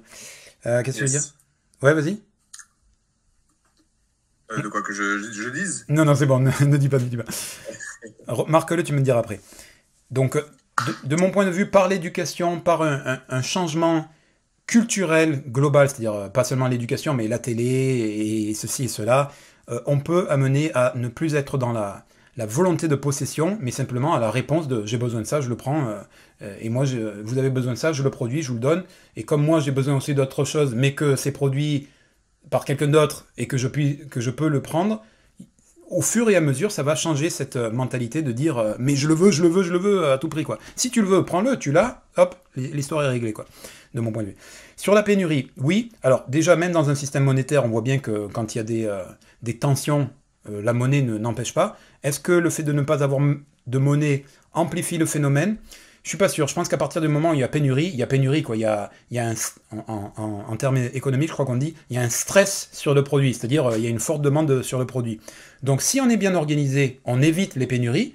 Là, pourquoi il y a pénurie? Notamment parce qu'on fait fabriquer euh, à l'autre coin du monde et que quand il y a une pandémie, les, les, gouvernements de chaque pays mettent des trucs drastiques vous pouvez plus aller travailler parce que vous êtes confiné. Eh bien, si on va pas travailler, il n'y a pas de production. Et donc, le pays qui dit, eh putain, vous m'envoyez les trucs, ben nous, on peut pas aller travailler, on peut pas vous l'envoyer, quoi. Donc, c'est la merde. Donc, si on fait tout sur place, enfin, pas, on peut pas tout faire sur place, mais si on, localise tout ce qu'on peut faire sur place, je bave, euh, on peut euh, réduire les risques de pénurie. Après, bon, il y aura peut-être toujours dans des cas graves comme ça de pénurie, mais argent ou pas argent, je pense que ça change pas le, problème. Je suis pas sûr que s'il n'y a pas d'argent, ça accentue le problème. Mais peut-être que je me gourre. Et comme une fois encore, il y a quand même une éducation à la moralité, à une certaine éthique, j'ose supputer, espérer que les gens vont. Tout, tout, le monde, tout monde va se dire Attends, mais moi, si je suis comme un con et que j'ai besoin d'un papier cul et que je vais en prendre 5 parce que j'ai peur, ben je sais très bien que je vais en prendre 4 autres à quelqu'un d'autre, quoi, tu vois, et que c'est pas bien. Donc. Euh, je vais essayer d'économiser mon papier cul en espérant que le voisin économise son papier cul et que on, arrive à sortir de, cette période de stress, de pénurie euh, sans manquer de papier cul. Bon, c'est encore une fois une question d'éducation. Sur l'impôt, pourquoi j'ai marqué impôt moi? Euh, Je voudrais, euh, là c'est plutôt une question vers toi, euh, je crois que c'est l'argent, euh, je te disais, qui est dématérialisé euh, par rapport au travail, quand tu payes des impôts, le crédit, etc. Alors, alors c'est un peu, un peu différent. Non, je vais mettre l'impôt à, la fin parce que c'est une question plutôt vers toi et pas forcément quelque chose que j'ai envie de dire. Sur le travail au black, mon père, il était mécano, il savait réparer les ordinateurs, il était électricien, il, était, il savait tout faire, mon père. Et il faisait beaucoup de. dans, le sud de la France, je, suis originaire du sud de la France, on dit des gâches, c'est-à-dire euh, travailler au black, quoi. Et il faisait beaucoup ça, et euh, c'est grâce à ça qu'on avait euh, Canal Plus. D'ailleurs, c'est lui qui. À l'époque, c'est encore crypté, je crois, Canal Plus. À l'époque, tu avais un boîtier, tu pas de carte, mais tu avais un boîtier. Et mon père, il avait trouvé les plans par un collègue de travail, et il avait acheté tous les composants, parce qu'il savait tout faire, mon père, et il avait J'espère qu'il y a prescription maintenant, mais il avait fait des gages pour acheter les composants et il avait fait un, décodeur Canal+, donc on avait Canal+, gratuit à la maison venant de l'argent du black. Donc c'est pas moi qui vais dire euh, l'argent du black c'est mal et tout ça. Et je suis complètement d'accord avec euh, ce, que tu, ce que tu as dit en présentant le truc, c'est que parce qu'on est dans une organisation de merde où les petits gens n'ont pas suffisamment, que ben, ils sont obligés de se démerder quoi. Euh, voilà quoi, c'est la faute des. Si vous voulez pas qu'on fasse du travail au black, ben arrêtez de donner nous ce, ce, dont on a besoin quoi. Tu vois, du travail. qu'on puisse payer nos, trucs, augmenter nos salaires, etc. Donc sur le travail, sur le travail au black, je suis complètement d'accord avec toi. Et donc je finis par ça. Mon dîner, enfin moi je suis un mec de gauche, et en général les mecs de gauche ils disent les impôts c'est bien, c'est la redistribution, blablabla, ce que je peux comprendre, mais ma vision du, truc c'est que c'est pas une bonne façon de, payer les, biens et les services publics et le financement de l'État et tout le bordel. Et que moi je suis pour la création monétaire ex nihilo. Les banques privées, c'est comme ça qu'elles créent l'argent. Quand toi tu dis j'ai besoin d'un crédit, tu vas à la banque, tu crois qu'elle a, elle l'argent? Non Elle rentre des numéros dans un ordinateur et l'argent est créé. Donc euh, l'argent, ça se crée à partir de rien. Donc moi, je suis pour qu'on prenne ce pouvoir collectivement de création monétaire et que si combien on a besoin pour l'éducation? Il nous faut, je dis n'importe quoi, j'en sais rien du tout moi. 2 euh, milliards, hop, on crée les 2 milliards, blabla. Si évidemment les mecs ils disent euh, non, il nous faudrait 3 milliards parce qu'on n'est pas assez payé. Attendez, là, il faut pas exagérer évidemment, tu vois. Mais voilà. Pourquoi je te dis ça moi? Oui, donc moi je suis opposé à l'impôt parce que je suis pour le financement par création monétaire et parce que si tu enlèves l'impôt, on a beaucoup plus d'argent dans la poche. Je dis pas que l'argent, je suis en train de faire une critique de l'argent depuis tout à l'heure, mais je veux dire, voilà, on a plus de moyens de subsistance, quoi, tu vois. Quel est ton avis? Tu es pour, tu es contre l'impôt? Qu'est-ce que tu penses de mon idée? Enfin, voilà, quoi. Quel est ton avis là-dessus, sur l'impôt? Euh, Alors, attends, j'ai marqué euh, le serpent qui se mord la queue. Euh, alors, je sais pas si ça faut le coup que j'en parle. C'est ce que tu disais juste avant par rapport aux, aux, pas aux pénuries, mais juste un petit peu avant en soi, c'est vrai, tu as raison, j'ai pas grand chose à dire, mais euh, il, faut, il faut trouver une manière pour que on puisse prendre les trucs, tu vois, faire la transition, que la transition se passe bien entre. Ah oui. Que tu puisses ne plus avoir d'argent et que l'entreprise, pas qui gagne, mais qui ne qui, se dise pas qu'elle se fait euh, avoir quoi, dans l'histoire. Euh, c'est ça que je parlais, le, le, serpent qui se mord la queue, mais c'est flou, ça, je ne veux, pas, veux pas trop ah. m'attendre sur le sujet. Excuse-moi, excuse-moi. Je, t'interromps encore, je, je, parle beaucoup trop, mais je t'interromps. Moi, avant de venir habiter au Japon, j'avais jamais d'argent liquide sur moi. Ma grand-mère, à chaque fois, elle me disait Mais putain, prends 10 francs. Euh, 10, euh, c'était pas 10, francs. Prends 10 euros, quoi. Et moi, ça me faisait chier d'avoir de l'argent euh, liquide parce que, euh, voilà, je suis de cette génération de la dématérialisation. C'est très naturel chez moi. Dès qu'il y a un truc qui a pas de câble, je déteste les câbles. Dès qu'il n'y a pas de câble, voilà, quoi, je l'adopte. Ben, sauf là, mais bon, on s'en fout. donc, quand j'étais en France, j'avais jamais d'argent liquide et des fois, j'étais dans la merde parce que, voilà, et tu pouvais pas tout acheter par carte. Quand je suis arrivé au Japon, ici, le Japon comme l'Allemagne, il paraît que c'est très connu. Euh, sont des, sociétés de cash. Et j'ai pris conscience ici de ce que tu disais au départ, c'est-à-dire, ouais, le cash, en fait, euh, t'as pas de trace, quoi, tu fais ce que tu veux. C'est pas que je fais des trucs illégaux, illégaux mais c'est que, ouais, il y a une certaine discrétion. Euh, tu peux tout payer par cash, tu vois, si t'en as. alors qu'en carte, surtout au Japon, tu peux pas tout payer. C'est un, pays à la fois moderne, mais à la fois en retard sur, sur d'autres trucs. Et donc, en vivant dans cette société du cash, j'ai pris conscience qu'en fait, non, le cash, c'est pas une mauvaise chose et que voilà, ça, il y a une, discrétion, une, liberté. Donc le fait d'être dans une société a changé ma, mentalité. Pardon, je laisse reprendre. Bah, du coup, ouais, en fait, tu as raison, tu vois, dans une société euh, utopiste, euh, libertaire, euh, idéale, c'est vrai que pourquoi pas laisser avoir de l'argent au final dans une carte bleue, dans une puce, voilà, une carte, et pourquoi pas aussi en papier qu'est-ce que ça coûterait en soi? Mais voilà, c'est vrai que tu as raison en fait. Euh, pourquoi pas? C'est vrai que, qu'est-ce que, comme ça, comme tu dis, il n'y a pas de traçabilité. Non pas pour une question de, euh, de pouvoir faire des trucs euh, en douce, mais plutôt voilà, d'être libre, de ne pas se sentir surveillé. Quoi. Donc oui, je suis tout à fait d'accord avec toi. En fait, c'est vrai qu'on peut, on peut envisager dans une société idéale d'avoir les deux formes d'argent, liquide et virtuel. du coup, ouais, pour ce que tu disais par rapport aux impôts, bah écoute, moi je pense que ton, argument, tu vois, euh, peut réconcilier la droite et la gauche. C'est-à-dire que, tu vois, moi, la première fois quand tu m'as dit de, comment dire, de, retirer les impôts pour, euh, mais quand en fait c'est l'État qui, crée l'argent, en fait j'avais du mal à comprendre parce que tu ça, tout ça, ça englobe le système financier. Et le système financier, c'est, à un moment, j'ai, j'ai voulu m'intéresser au sujet. c'est un bourbier le truc. Euh, alors, que ça soit version dans, dans, un, pays et encore plus dans, le monde entier.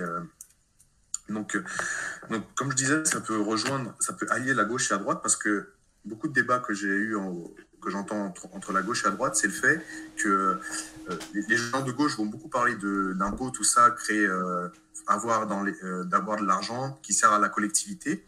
Et les gens de droite vont te, vont te dire, les gens de droite libérale, on va dire, ils vont te dire Ouais, mais euh, moi qui travaille beaucoup, pourquoi est-ce que je devrais payer pour quelqu'un qui ne fout rien? Voilà. Et, euh, et c'est vrai que quand on balance cet argument, dans la société actuelle, c'est vrai que tu as plein de gens qui foutent rien, ils sont aidés par euh, l'État, etc. Et puis bah, toi, tu trimes, toi, tu trimes comme, un, comme, un, comme un malade. Et finalement, tu te dis Ouais, c'est un peu injuste. Et donc, ton idée de, de retirer l'impôt, mais que c'est l'État qui gère qui, crée l'argent quand tu en as besoin pour, euh, pour telle ou telle chose, ça peut être une excellente idée et qui, qui atténuera justement, je trouve, cette différence entre droite et gauche. Je ne sais pas ce que tu en penses, mais voilà. Deux choses. Euh, attention, quand tu dis État, je, tiens toujours à rappeler que l'État est une euh, institution, une institution centrale qui contrôle les autres institutions, mais qui n'a aucun pouvoir décisionnel. Donc, ok, il y a un État, on, peut utiliser le, vocabulaire que tu utilises, parce que c'est le vocabulaire auquel on est euh, habitué. Mhm. Mais je veux toujours rappeler que l'État fait ce que le peuple, dans, dans cette, dans cette euh, euh, société démocratique, théorique, machin truc, c'est le peuple qui dit tu, tu imprimes tant pour la défense, tu imprimes tant, enfin tu imprimes. voilà quoi, tu crées de l'argent de temps pour la défense, pour les hôpitaux, pour ceci, pour cela, et c'est pas l'État qui va dire bon mais moi j'ai décidé de mettre tant d'argent ici et pas tant d'argent là. L'État il a aucune décision, il exécute l'État, c'est tout. Donc, euh, dans ce sens-là, je suis d'accord avec toi. Merde, c'était quoi l'autre truc que je voulais dire? Les, impôts ah euh, qui permettent de rallier la gauche et la droite, et, Voilà, exactement. Si pendant deux secondes je tiens un discours de droite, je dirais que j'entends cet argument de, de, la droite euh, un peu caricatural, mais qui est relativement vrai quand même, de dire Eh putain, mais moi je trime, l'autre il touche les allocations, là il faut rien et tout machin truc. Donc, puisque on instaure un revenu de base, et d'ailleurs, les gens de gauche disent, tu vois, c'est un truc de droite, ça. Si on instaure un revenu de base, celui qui n'a pas envie de, se lever euh, le cul pour faire des trucs, il a son minimum assuré. Il peut manger, il a un toit sur la tête, tu vois. Mais euh, s'il veut euh, voyager ou s'il veut quelque, chose, voilà, eh ben, il va être obligé de, de, bosser pour l'avoir, quoi. Ça invalide un peu ce que je disais tout à l'heure en disant, mais attends, tout est gratuit, tout. Mais non, mais deux secondes, là, on est en train de, de faire par étapes. Donc voilà, transition, on met un revenu de base, tu as ton minimum assuré. Tu vis, tu as une vie digne, mais euh, chiche, quoi. Tu vois, euh, tu, tu peux pas faire grand chose en réalité. Si tu es content de regarder euh, le ciel, c'est gratuit, tu peux le faire. Mais si tu veux avoir quelque chose, eh ben, il va falloir travailler. Donc voilà, le mec de droite, il sera content parce qu'il dira si tu veux un truc, tu te bouges le cul, mon pote. Je vais pas te l'acheter, tu vois. Donc ça, ça répond à ça. Et d'un autre côté, il me semble quand même, ça c'était mon discours de droite, si on veut, ce que je peux, ce que je peux comprendre, même si je, simplifie un, peu, mais malgré tout quand même, euh, malgré tout quand même c'est ça. Et euh, à, gauche, moi l'argumentaire que j'ai pour les gens de gauche qui disent mais qu'est-ce que tu es en train de dériver à droite? Mais non, parce que si, si on a le pouvoir de battre monnaie et qu'on crée l'argent, alors euh, l'assurance chômage, l'assurance maladie, la retraite et blablabla, enfin tous les filets de sécurité qui sont chers à la gauche, ils sont assurés. Peu importe que l'économie soit en haut, en bas, euh, que ce soit les 30 glorieuses ou, la merde financière maintenant, l'argent sera toujours de toute façon créé, assuré. quoi. Donc voilà, ça répond à, à ces, besoins-là. Donc comme tu dis, et je suis très content que tu le dises, à mon avis, c'est un moyen terme, si on l'a bien compris, et si cet outil il peut être utilisé de différentes façons. Oui, il peut y avoir un revenu de base de droite qui déséquilibre la société. Il peut y avoir ça. Mais si on, fait, on, utilise cet outil de la bonne façon, ça peut être le, pont qui répond euh, à certains, euh, à certains dissensus entre la gauche et la droite. Mhm. Tu me comprends quand des fois j'utilise des mots euh, dissensus et tout ça là? C'est bon? En, fait, oui. attends, t'as dit quel mot là? Dissensus. Alors, moi, je suis, je suis pas français, tu vois. Moi, je suis, moi, je suis un étranger. Je, je, suis arrivé en France quand j'avais 5 ans. Je viens des pays de l'Est. Euh, du coup, je suis un peu mauvais dans certains termes, mais j'arrive à comprendre l'ensemble global euh, euh, de ce que tu dis. Mais par exemple, le terme que tu viens d'utiliser, si tu veux l'expliquer, pas de souci, je ne connais pas. Dissensus, en, fait, je ne suis pas sûr de moi, mais ça vient de distance, ça vient d'une séparation. En fait, dissensus, ça veut dire désaccord, si tu veux. Voilà, tu vois. désolé, si jamais j'utilise des, des, mots comme ça et que tu comprends pas, c'est pas parce que tu es bête et je vais pas te regarder en disant eh, tu connais pas ce mot? moi, il y a plein de mots que je connais pas non plus à un moment donné. Les mots que je connais, c'est parce qu'à un moment donné, on me les a appris ou que je suis allé chercher dans un dictionnaire. Hein. Il n'y a pas d'intelligence euh, blablabla. Donc il n'y a aucun souci s'il y a un mot que tu comprends pas, que tu dis attends, pourquoi tu dis ça, je comprends pas. Je te l'explique et inversement, s'il y a un mot que je comprends pas, tu, me l'expliques, ok? Pas de, pas de trucs comme ça entre nous. Non, mais t'inquiète. Euh, bah, de toute façon, mais moi, des fois, je peux utiliser des, des termes. Bah, quand, je, quand, je, parlais de la dernière fois, la volonté de puissance, c'est un concept philosophique, ça. Tu vois, c'est normal qu'il y a des gens qui s'intéressent pas en philo, ne le connaissent pas. Mais ouais, non, mais de toute façon, pour, volonté de puissance, alors c'est pareil, je vais peut-être mal dire, mais en gros, c'est tout être vivant a, a, une envie de grandir. Tu vois, par exemple, la fleur, elle n'a elle, pas envie d'écraser les autres, mais elle a juste envie de, s'épanouir, de, grossir, de grossir jusqu'à jusqu'à ce qu'elle atteigne son maximum avant de, avant de faner. Et ben de même, euh, alors je sais pas si c'est Nietzsche qui a créé ce concept-là, mais la volonté de puissance, pour l'être humain, c'est à peu près la même chose. Un être, un être humain n'a pas forcément vocation à écraser les autres. Il a juste surtout envie de, de lui-même de grandir, quoi, de, prouver sa valeur, sa, volonté de vivre. Voilà. Alors, euh, c'est un peu expliqué comme ça, et ça, c'est souvent repris dans les discours de droite pour expliquer que voilà, il y a des forts, il y a des faibles, c'est la volonté de puissance, etc. Euh, théorique, comme, comme disait Homo Fabulus, effectivement, oui, on peut être différent. Euh, effectivement, il peut y avoir des forts, des faibles, mais c'est pas pour autant qu'il doit y avoir des discriminations. du coup, voilà pour, pour ça. Du coup, Guillaume, Guillaume, c'est ça? Hmm. Euh, Bah écoute, moi je trouve qu'on a parlé de beaucoup de trucs, mais il y a deux, deux sujets. Ah oui, voilà, parce que j'ai noté. Il y a deux sujets que j'ai notés où on n'a pas dit beaucoup. Alors j'avais marqué syndicat. Pourquoi j'avais marqué ça?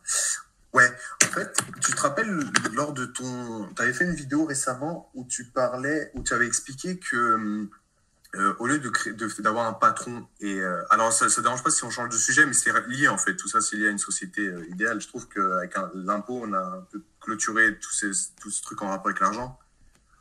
Ouais.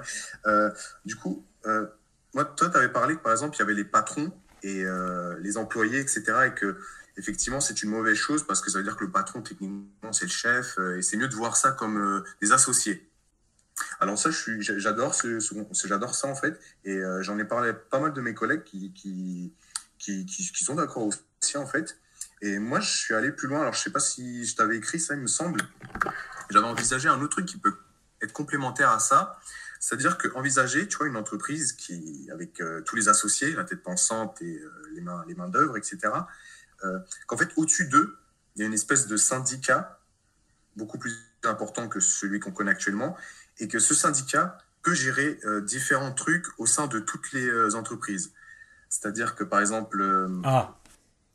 Ouais. Je vais donner des exemples et tu me diras ce que tu en penses. Ouais. Syndicat, alors j'appelle, je vais, le terme syndicat du travail. D'accord. Alors, j'avais donné des exemples que ce syndicat, par exemple, si un patron, ou du moins une tête pensante, veut se débarrasser d'un de ses associés qui pose problème, bon, actuellement, on va dire qu'il va trouver des magouilles pour le virer, ou ce genre de choses. Donc, il y a une espèce de, de, secte qui se forme autour d'une entreprise, c'est-à-dire que le patron, techniquement, c'est le chef, et tous les autres employés doivent lui obéir au doigt et à l'œil, s'ils veulent pas s'attirer la foudre et se faire virer pour, euh, d'une manière ou d'une autre. Parce que moi, je pense que si un patron veut te virer, il trouvera toutes les manières, euh, je le pense. Hein. Alors, euh, moi, je pense que ce qui peut être intéressant avec ce syndicat du travail, c'est de faire en sorte que les problèmes ne se règlent plus en interne.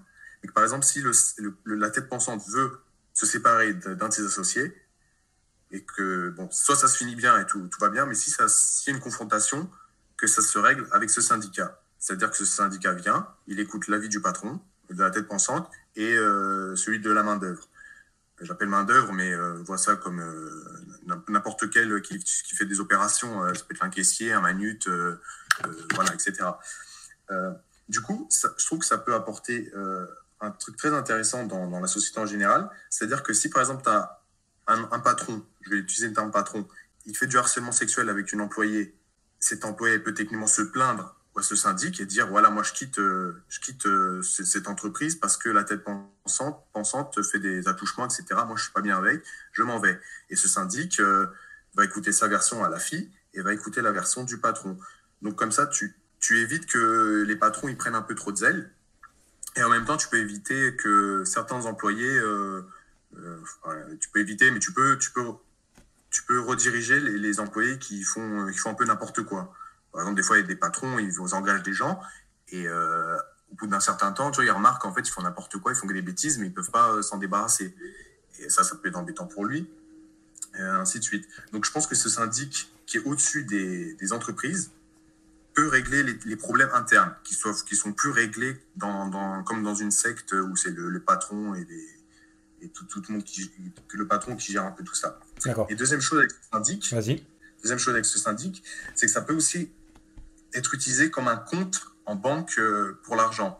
C'est-à-dire qu'imaginons tu as une petite entreprise qui fait 10 000 euros par mois, donc c'est mis dans, ce compte, euh, dans ce compte, euh, dans, dans ce syndic, et euh, après, le patron, enfin, comme il s'est organisé, lui, il touche sa part, donc on va dire 2000. Et les employés qui travaillent avec lui, imaginons, euh, il y a deux employés, chacun d'eux touche 1000 euros. Donc ça fait en tout 4000 euros qui sont euh, utilisés, 2000 pour le patron et 2000 pour les deux employés. Ce qui fait qu'il reste 6000 euros. Et ces 6000 euros, après, ils peuvent être utilisés soit réinvestis dans l'entreprise, soit mis de côté pour plus tard. Comme ça, comme ça, si un jour l'entreprise elle monte et qu'elle atteint par exemple les 20 000, les employés ils peuvent demander à la tête pensante, pensante une augmentation. Et si le, la tête pensante refuse, et ben ça c'est géré euh, dans, ce syndic. Et ce syndic, il va voir que les chiffres ils ont augmenté depuis plusieurs années et qu'il est moralement, moralement euh, envisageable que les employés, ou du moins les, les, associés main d'œuvre, aient leur part du butin. Comme ça, encore une fois, c'est plus le patron qui décide, euh, toi, tu as une augmentation, toi, tu menaces de partir, bon, bah, je vais te, je vais te t'augmenter, etc. il y a plus, le problème, quand il y a un problème, ils sont gérés par, par ce syndic du travail. Voilà pour ces deux points. j'aimerais beaucoup savoir, avoir ton avis sur ça. Ok. Alors, une question. Il est, il est composé comment le, le syndicat du travail? Il y a qui dedans?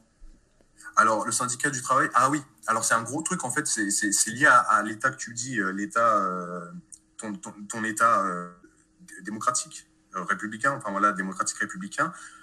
C'est-à-dire que dans, dans, cet état, il y a une partie, une grosse partie qui, qui, qui, est ce syndic du travail.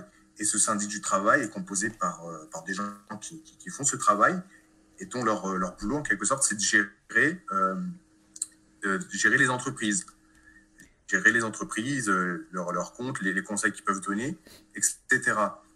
Par contre, il faut, là, il y a un défaut qui peut venir, c'est que si, si euh, c'est toujours la même personne qui gère la même entreprise, toujours la même entreprise. C'est-à-dire si, si c'est euh, un groupe de personnes qui gèrent une entreprise, un restaurant par exemple. Si gère le resto, bah, le patron il peut soudoyer ces gens-là. Donc il faut toujours que dans ce syndic-là, les, les choses tournent. Ce ne soit jamais les mêmes personnes qui s'occupent de la même entreprise. Euh, mais voilà, en, gros, ce syndic, il est composé de, comme, comme, euh, comme, comme l'État, hein, énormément de monde quoi, qui s'occupe de toutes les entreprises du pays. Ok. Alors, dans l'optique de, ce syndicat d'entreprise, de, du travail, alors il y a déjà des, syndicats qui existent, etc., des instances de, discussion entre patronat et, et euh, syndicat patronat et syndicat employé. Je pense qu'il est important que ce syndicat du travail, où c'est ces différentes branches, parce qu'on essaye aussi de d'avoir des, euh, des, institutions qui sont au plus près des, des, des localités, tu sais, comme on en parlait tout à l'heure, pas, pas quelque chose de, de, trop euh, national et, déconnecté. Euh, donc ces différents syndicats du travail qui existent un peu de partout sur le territoire, à mon avis, il me paraît nécessaire, pas intéressant, mais nécessaire, qu'ils soient composés à la fois de patrons, qui sont du côté du, des employés et qui connaissent les problématiques euh, des employés, des employeurs et qui connaissent la problématique de, de ce que c'est que d'être un patron, il faut à la fois qu'il y ait des représentants euh, des, des, des, travailleurs, quoi, donc euh, des travailleurs eux-mêmes qu'on élit, enfin tu sais comme ça existe maintenant. Donc eux, ils comprennent la, la, logique, la problématique d'être travailleur, et puis peut-être, comme tu viens de le dire, des, des représentants de, de l'État, d'accord, des, des fonctionnaires, des juges ou des professionnels du travail, etc en réalité, tout ça, je pense que c'est certainement ce qui existe sous la forme du, euh, des prud'hommes. tu, que tu dois connaître. Donc quand il y a un, quand il y a un conflit entre un, employé et un employeur, et que ça ne se résout pas en interne, et que ça va jusque devant les tribunaux, eh bien c'est un, tribunal particulier du travail, ce sont les, prud'hommes, et là chacun, chacune des parties fait valoir, euh, ouais ben moi je l'ai viré parce que euh, il a été trois fois en retard, ouais ben non en fait euh, j'ai pas vraiment été en retard ou je sais pas quoi, ben voilà, ils plaident leur, leur cause devant le, tribunal qui est composé de représentants des employeurs et de représentants des, des employés et peut-être d'une des représentants de l'État, et donc ils tranchent, ils tranchent en faveur de, de l'un ou de l'autre. Donc ça ressemble un peu à ça. C'est une idée qui est déjà euh, d'une certaine façon en pratique. Peut-être que toi, ce que tu, proposes, c'est de, de, de, lui donner encore plus de force. Mais j'ai l'impression que euh, tu n'as pas compris mon, idée de. Comment ça s'appelle de, de, collaborateur. C'est vraiment différent de ce que tu viens de présenter là, en ce sens qu'il n'y a pas de tête pensante et d'exécutant. De, enfin, parce que je vais essayer de, de prendre un cas concret. Quelqu'un qui veut euh, se lancer, je dis n'importe quoi, là on parle beaucoup des startups, de des nouvelles technologies, etc. Il y a un mec qui a une idée, putain moi j'ai envie de faire tel appareil électronique ou telle application, euh, je suis sûr que ça va casser la baraque, on va, on devenir riche avec ça ou je sais pas quoi, en, tout cas on va trouver le, succès. Mais je suis pas codeur. J'ai l'idée de ce que je veux faire, mais je suis pas codeur, donc je ne saurais pas développer l'application. Et euh, je suis pas marketeur, tu vois, je ne serai pas là à vendre mon truc et j'ai besoin d'un illustrateur qui va me faire les brochures de mon, site internet et mes brochures et tout le bordel. Donc j'ai besoin de, différents savoir-faire. Et donc, je vais mettre une annonce, que ce soit à Pôle emploi ou euh, euh, sur LinkedIn ou je sais pas quoi, enfin voilà. Je vais faire connaître mon projet et des gens vont, vont dire, euh, vont répondre à ce projet. Ah ben moi, je cherche une activité et j'aime beaucoup votre projet. Je suis codeur, j'ai envie de faire partie du projet voici quelles sont mes compétences, voici quel est mon, historique entrepreneurial ou je sais pas quoi, voici quelles sont mes valeurs, enfin l'entretien d'embauche classique si tu veux. Et le mec va dire ouais c'est vous que je veux, c'est avec vous que je veux travailler, euh, j'ai besoin de vos compétences de codeur. Donc le mec rentre dans la structure si tu veux. Il y avait ce que j'appelle l'initiateur de projet, le mec qui a l'idée de faire quelque chose, et puis un premier élément, euh, le codeur dans le, cas euh, ici. Mais à partir du moment où l'initiateur de projet a validé le fait qu'il voulait travailler avec ce mec-là, ce mec-là a autant de pouvoir décisionnel dans l'entreprise. C'est-à-dire que si le mec il dit, ben moi je voudrais que, je sais pas moi, je dis vraiment n'importe quoi, on délocalise un bureau en Chine, tu vois, ou on fasse faire notre production en Chine, il faut que le, le, le codeur, qui est dans la situation actuelle pour l'instant pas dans mon, dans mon exemple, mais dans la situation actuelle, un employé, l'initiateur de projet, il va pas dire euh, ouais, je vais, j'ai envie qu'on délocalise en, Chine, qu'est-ce que t'en penses? Il s'en bat les couilles. Il dit je vais délocaliser en Chine, toi tu es le codeur, je te paye, tu fermes ta gueule, quoi, tu vois. Enfin, j'exagère, mais voilà, c'est ça.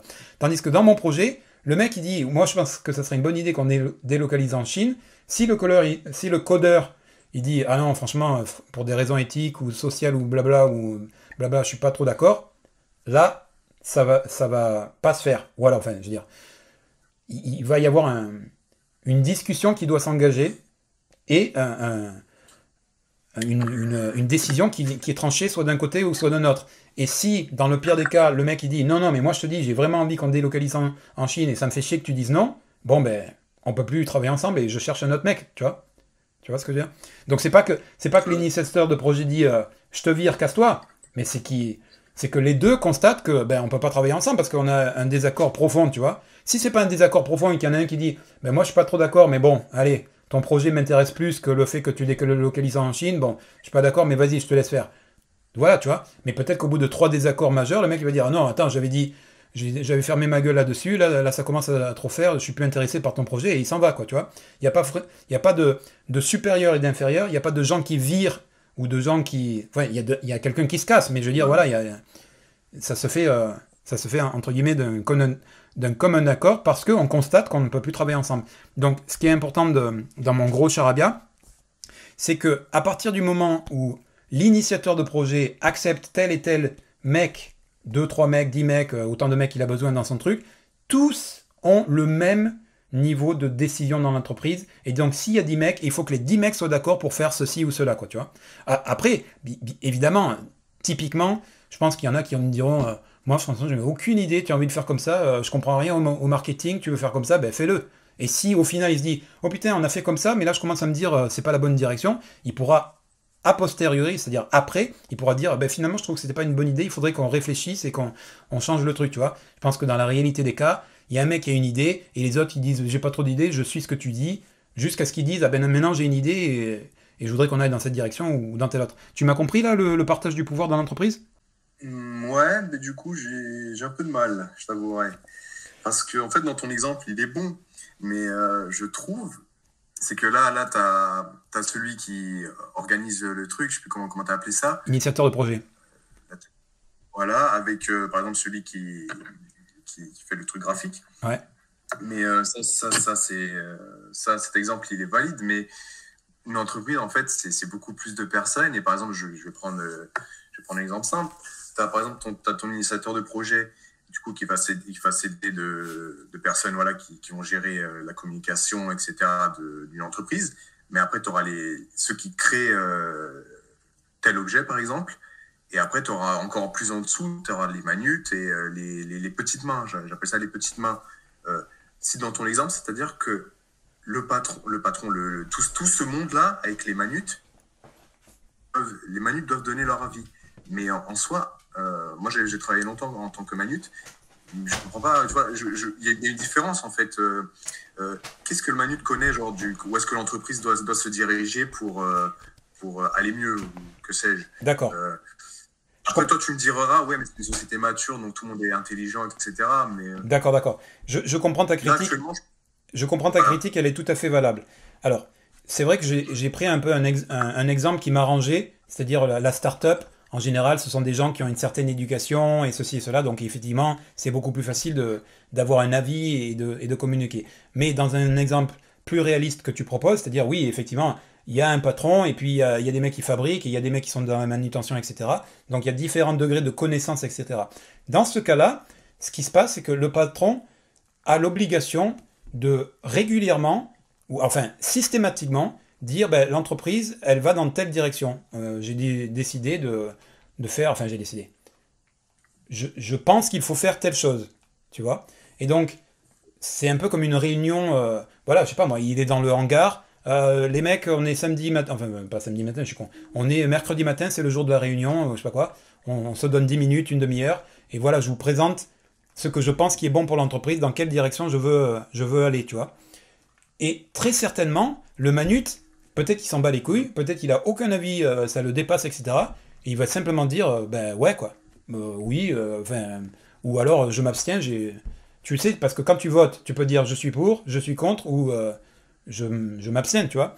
Et donc, dans la réalité des cas, très certainement que les manutentionnaires ou les, les ouvriers, dans la majorité des cas, diront j'ai aucun avis, je vous fais confiance, quoi, tu vois. Et je pense que il y a des entreprises euh, de petite taille et de moyenne taille, ça marche beaucoup comme ça. C'est-à-dire qu'il y a un, lien de confiance entre le, les employés, dans le cas actuel, les employés et le patron. Et donc, dans mon exemple de, il n'y a plus d'employés de patron, mais on est tous collaborateurs de même projet, c'est-à-dire que ça permet à celui qui, qui, est plus intelligent que les autres, même s'il est manute, et qui dit, attendez, euh, est-ce que c'est la bonne euh, direction? Je questionne, je voudrais avoir plus d'informations dessus, ou alors, tiens, je, comme toi tu fais, tu m'interroges, tu sais, l'avocat du diable, blablabla. Ou alors qui dit, oh, je viens d'avoir une idée, et si on faisait comme ça, tu vois? Il, peut y avoir même chez les manutes des petits génies ou je sais pas quoi. Après, si tout le monde dit, euh, attends, euh, toi t'es manute, j'ai pas trop confiance, quoi. Euh, eh ben, on vote pas pour, pour son idée. Mais, mais là où c'est je pense que dans les petites et moyennes entreprises, qui sont en, réalité le plus gros de l'économie française, c'est possible de faire ce que je dis. Même si dans la réalité des faits, il y a l'initiateur de projet et ses proches collaborateurs, les cadres, qui seront plus à même de proposer et de choisir la direction, et le reste ne fera que suivre. Ce que ça donne comme possibilité supplémentaire, c'est que si le reste n'est pas d'accord, typiquement, dans, je crois que tu as donné l'exemple tout à l'heure, c'est-à-dire le patron il dit, euh, il est obligé d'annoncer, euh, je pense que c'est une bonne idée que ce mois-ci je m'augmente de 10%. Par contre, vous, vous restez euh, là où vous êtes.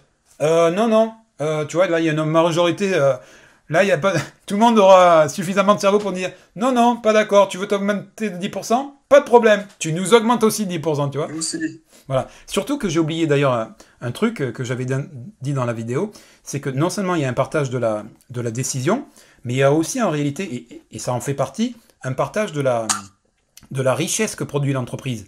c'est pas un partage absolument égal, c'est-à-dire que le patron et le manutentionnaire, ils ont le même salaire. Euh, mais si le patron il travaille, je dis n'importe quoi, 14 heures par jour et que le, manutentionnaire il travaille 10 heures par jour, ils peuvent pas avoir le même salaire nécessairement. Il y en a un qui travaille plus longtemps que l'autre, tu vois. Mais il y a aussi il y a, ça, mais il y a aussi et là c'est peut-être plus difficile à, à quantifier. Il y a aussi est-ce que finalement le manutentionnaire, si demain il s'arrête de travailler, euh, putain, ça fout, ça fout euh, à plat toute l'entreprise.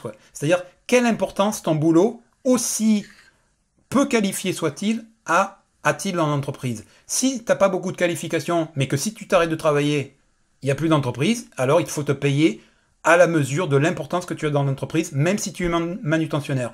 Donc euh, ça, ça s'évalue. je ne sais pas si tu m'as compris, mais, mais voilà.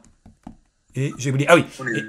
dernier point, pardon effectivement, ce que je raconte là est plus difficile, enfin, s'organise d'une façon différente, quand on parle des entreprises du, CAC 40. Là, tu as tellement d'employés, il y a des employés euh, de partout, etc. Euh, tu vas pas demander à chacun, euh, vous êtes d'accord. Mais il existe d'ores et déjà des syndicats dans les entreprises, d'accord, et qui portent la voix des employés. Donc très certainement qu'en réalité, dans la direction de l'entreprise, les employés auront très peu d'avis et très peu de choses à dire, et donc les ce que moi j'appelle les initiateurs de projet, ce qui s'appelle des patrons aujourd'hui, pourront continuer à garder la main là-dessus.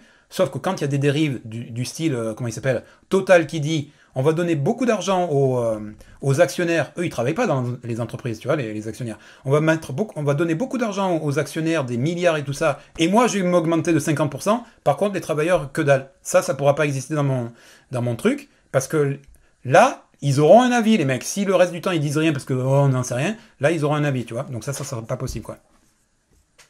Hmm, bah, ouais, dans tous les cas, ouais, je, vois. Il faudra voir euh, concrètement, tu vois, des, des exemples concrets. Euh, c'est par exemple des, délocalisations, euh, comment ça se passe, ou plein de, plein petits exemples comme ça qui peuvent être assez marrants à, à trouver pour voir comment les, les gens vont, peuvent réagir.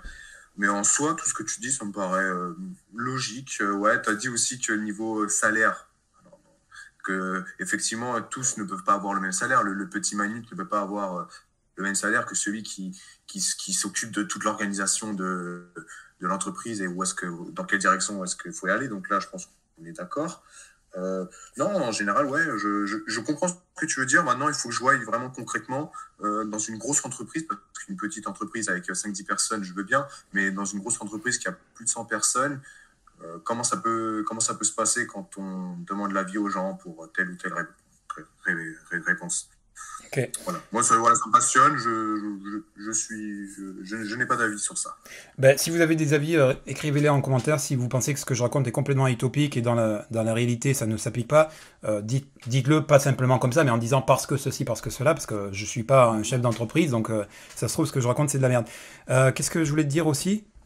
Bon, simplement, oui, je reviens sur les grandes entreprises. Il y a déjà des, des non, non, c'est pas ça que je voulais dire. C'est que à gauche, on est aussi, euh, on est pour la démocratie parce que historiquement, pourquoi on dit que les gens sont de droite et de gauche? Je pense que tu connais l'histoire, mais je le dis quand même. C'est que au moment de, de, faire de la France une démocratie, une pseudo-démocratie, en tout cas de sortir de la monarchie du roi, tu vois, euh, il y a eu une question. Il y avait des gens qui étaient assemblés euh, dans, dans, une pièce, dans une assemblée, et il y a eu la question qui est-ce qui est pour garder la monarchie? Mettez-vous à droite. Qui est-ce qui est pour sortir de la monarchie, d'aller vers une démocratie ou une république ou blablabla? Mettez-vous à gauche. C'est comme ça que la division s'est faite. Donc les gens de gauche sont pour la démocratie, le partage de la richesse, mais aussi le partage du pouvoir, etc. Donc euh, les, gens de gauche disent il faut, euh, enfin pas tous les gens de gauche hein, en réalité, mais bon, je fais un raccourci là. Mais euh, en général, les, gens de gauche ou les vrais gens de gauche sont pour la, la démocratie dans la société, le partage du pouvoir politique, comment on organise la société. Mais ils disent aussi qu'il faut surtout pas oublier d'introduire de, la démocratie dans l'entreprise, parce que l'entreprise, c'est un monde vaste et très euh, important dans la société. Donc si on fait de la société une démocratie, mais que dans l'entreprise, l'employé ferme sa gueule, il n'y a pas véritablement de démocratie. Donc ils disent il faut de la démocratie en, fait, en réalité de partout. quoi. Hmm. c'est bien dit, ça, démocratie dans les entreprises. Alors, je te propose de, s'il y a encore euh, certains points que tu veux soulever, de les présenter. Mais là, ça va bientôt faire 3 heures, donc euh, on reprendra peut-être une prochaine fois. Est-ce que tu veux rajouter quelque chose? Bah, justement, moi je me suis dit, on n'a pas parlé de, de, ce que j'avais noté, d'une de tout ce que tu as en rapport avec l'égalité entre les individus. Mais si tu es d'accord, on peut parler de ça une prochaine fois. ou aucun commentaire, il n'y a pas de souci. et après, juste une petite, un, petit, un, petit, un petit truc pour toi. tu parlais de vote euh, des votes, etc. Il y a, y a, un youtubeur euh, qui s'appelle Science Étonnante. Ouais. Qui avait fait une vidéo sur le vote. Ouais. Ce qui était génial avec. Euh, ça fait longtemps que je ne l'ai pas vu, c'est là. Mais ce qui était génial, c'est qu'il expliquait que ce système de vote binaire, c'est-à-dire tu votes ça ou ça, ou telle personne, tel candidat, etc., n'est pas parfait et qu'en fait, il montre qu'il existe différents types de votes qui sont largement supérieurs à celui qu'on a actuellement. Euh, et toi qui cherches à créer une société parfaite euh, démocratique, je pense que, je sais pas si tu connais, mais connaître tous ces différents types de votes qui sont meilleurs, peut-être intéressant. Tout à fait, je regarderai. Alors, voilà. Et, euh, ouais, vas-y. Et du coup, pour le, dernier sujet qui, qui, me venait à l'esprit, c'était sur l'égalité entre les individus. Alors, euh, soit tu es d'accord maintenant, soit euh, une prochaine fois, soit en commentaire, il n'y a pas de souci. Ok. Euh, si on le fait maintenant, je diviserai la, la, vidéo. De toute façon, je vais la diviser parce qu'elle est très longue. mais, alors, j'ai envie de répondre, mais je voudrais. on n'a pas parlé de libéralisme, il faudrait qu'on revienne là-dessus. Et des sujets qui t'intéressent et qui intéressent les gens de droite, voire d'extrême droite. Enfin, j'ai envie. je veux pas qu'on parle que des, des trucs qui. Bref. J'aimerais bien qu'on parle aussi d'immigration et d'identité, qui sont des thèmes qui, ah. qui c'est vrai que je ne l'ai pas noté, mais ouais. ouais. Donc écoute, moi ce que je dis, c'est que la vidéo là, elle fait 3 heures. Enfin, notre échange en tout cas, il fait 3 heures. Mon, mon épouse, elle est en train de fumer là. Putain, mais tu viens manger ou quoi? Donc, j'ai noté sur mon, euh, mon bordel immigration, libéralisme, euh, euh, égalité, que j'ai marqué? Ouais, égalité et identité. Ouais. Et donc voilà, ça fait déjà plusieurs thèmes qu'on pourra aborder dans un prochain échange. Ok. Si tu penses à d'autres trucs, tu les rajoutes Ok, donc euh, ouais, tu, es d'accord pour qu'on euh, ait encore une discussion une prochaine fois euh, sur tous ces sujets? Parfait. bah écoute, quand tu veux. Et puis bah écoute, bah écoute, c'est un plaisir de te parler avec toi. C'est une expérience assez marrante de discuter sur, sur les réseaux. Ouais. Et puis ouais, bah, comme je t'ai dit, tu peux mettre la vidéo, il n'y a pas de souci. ça marche. Ça va. Allez, ciao ciao. Ciao. À la prochaine.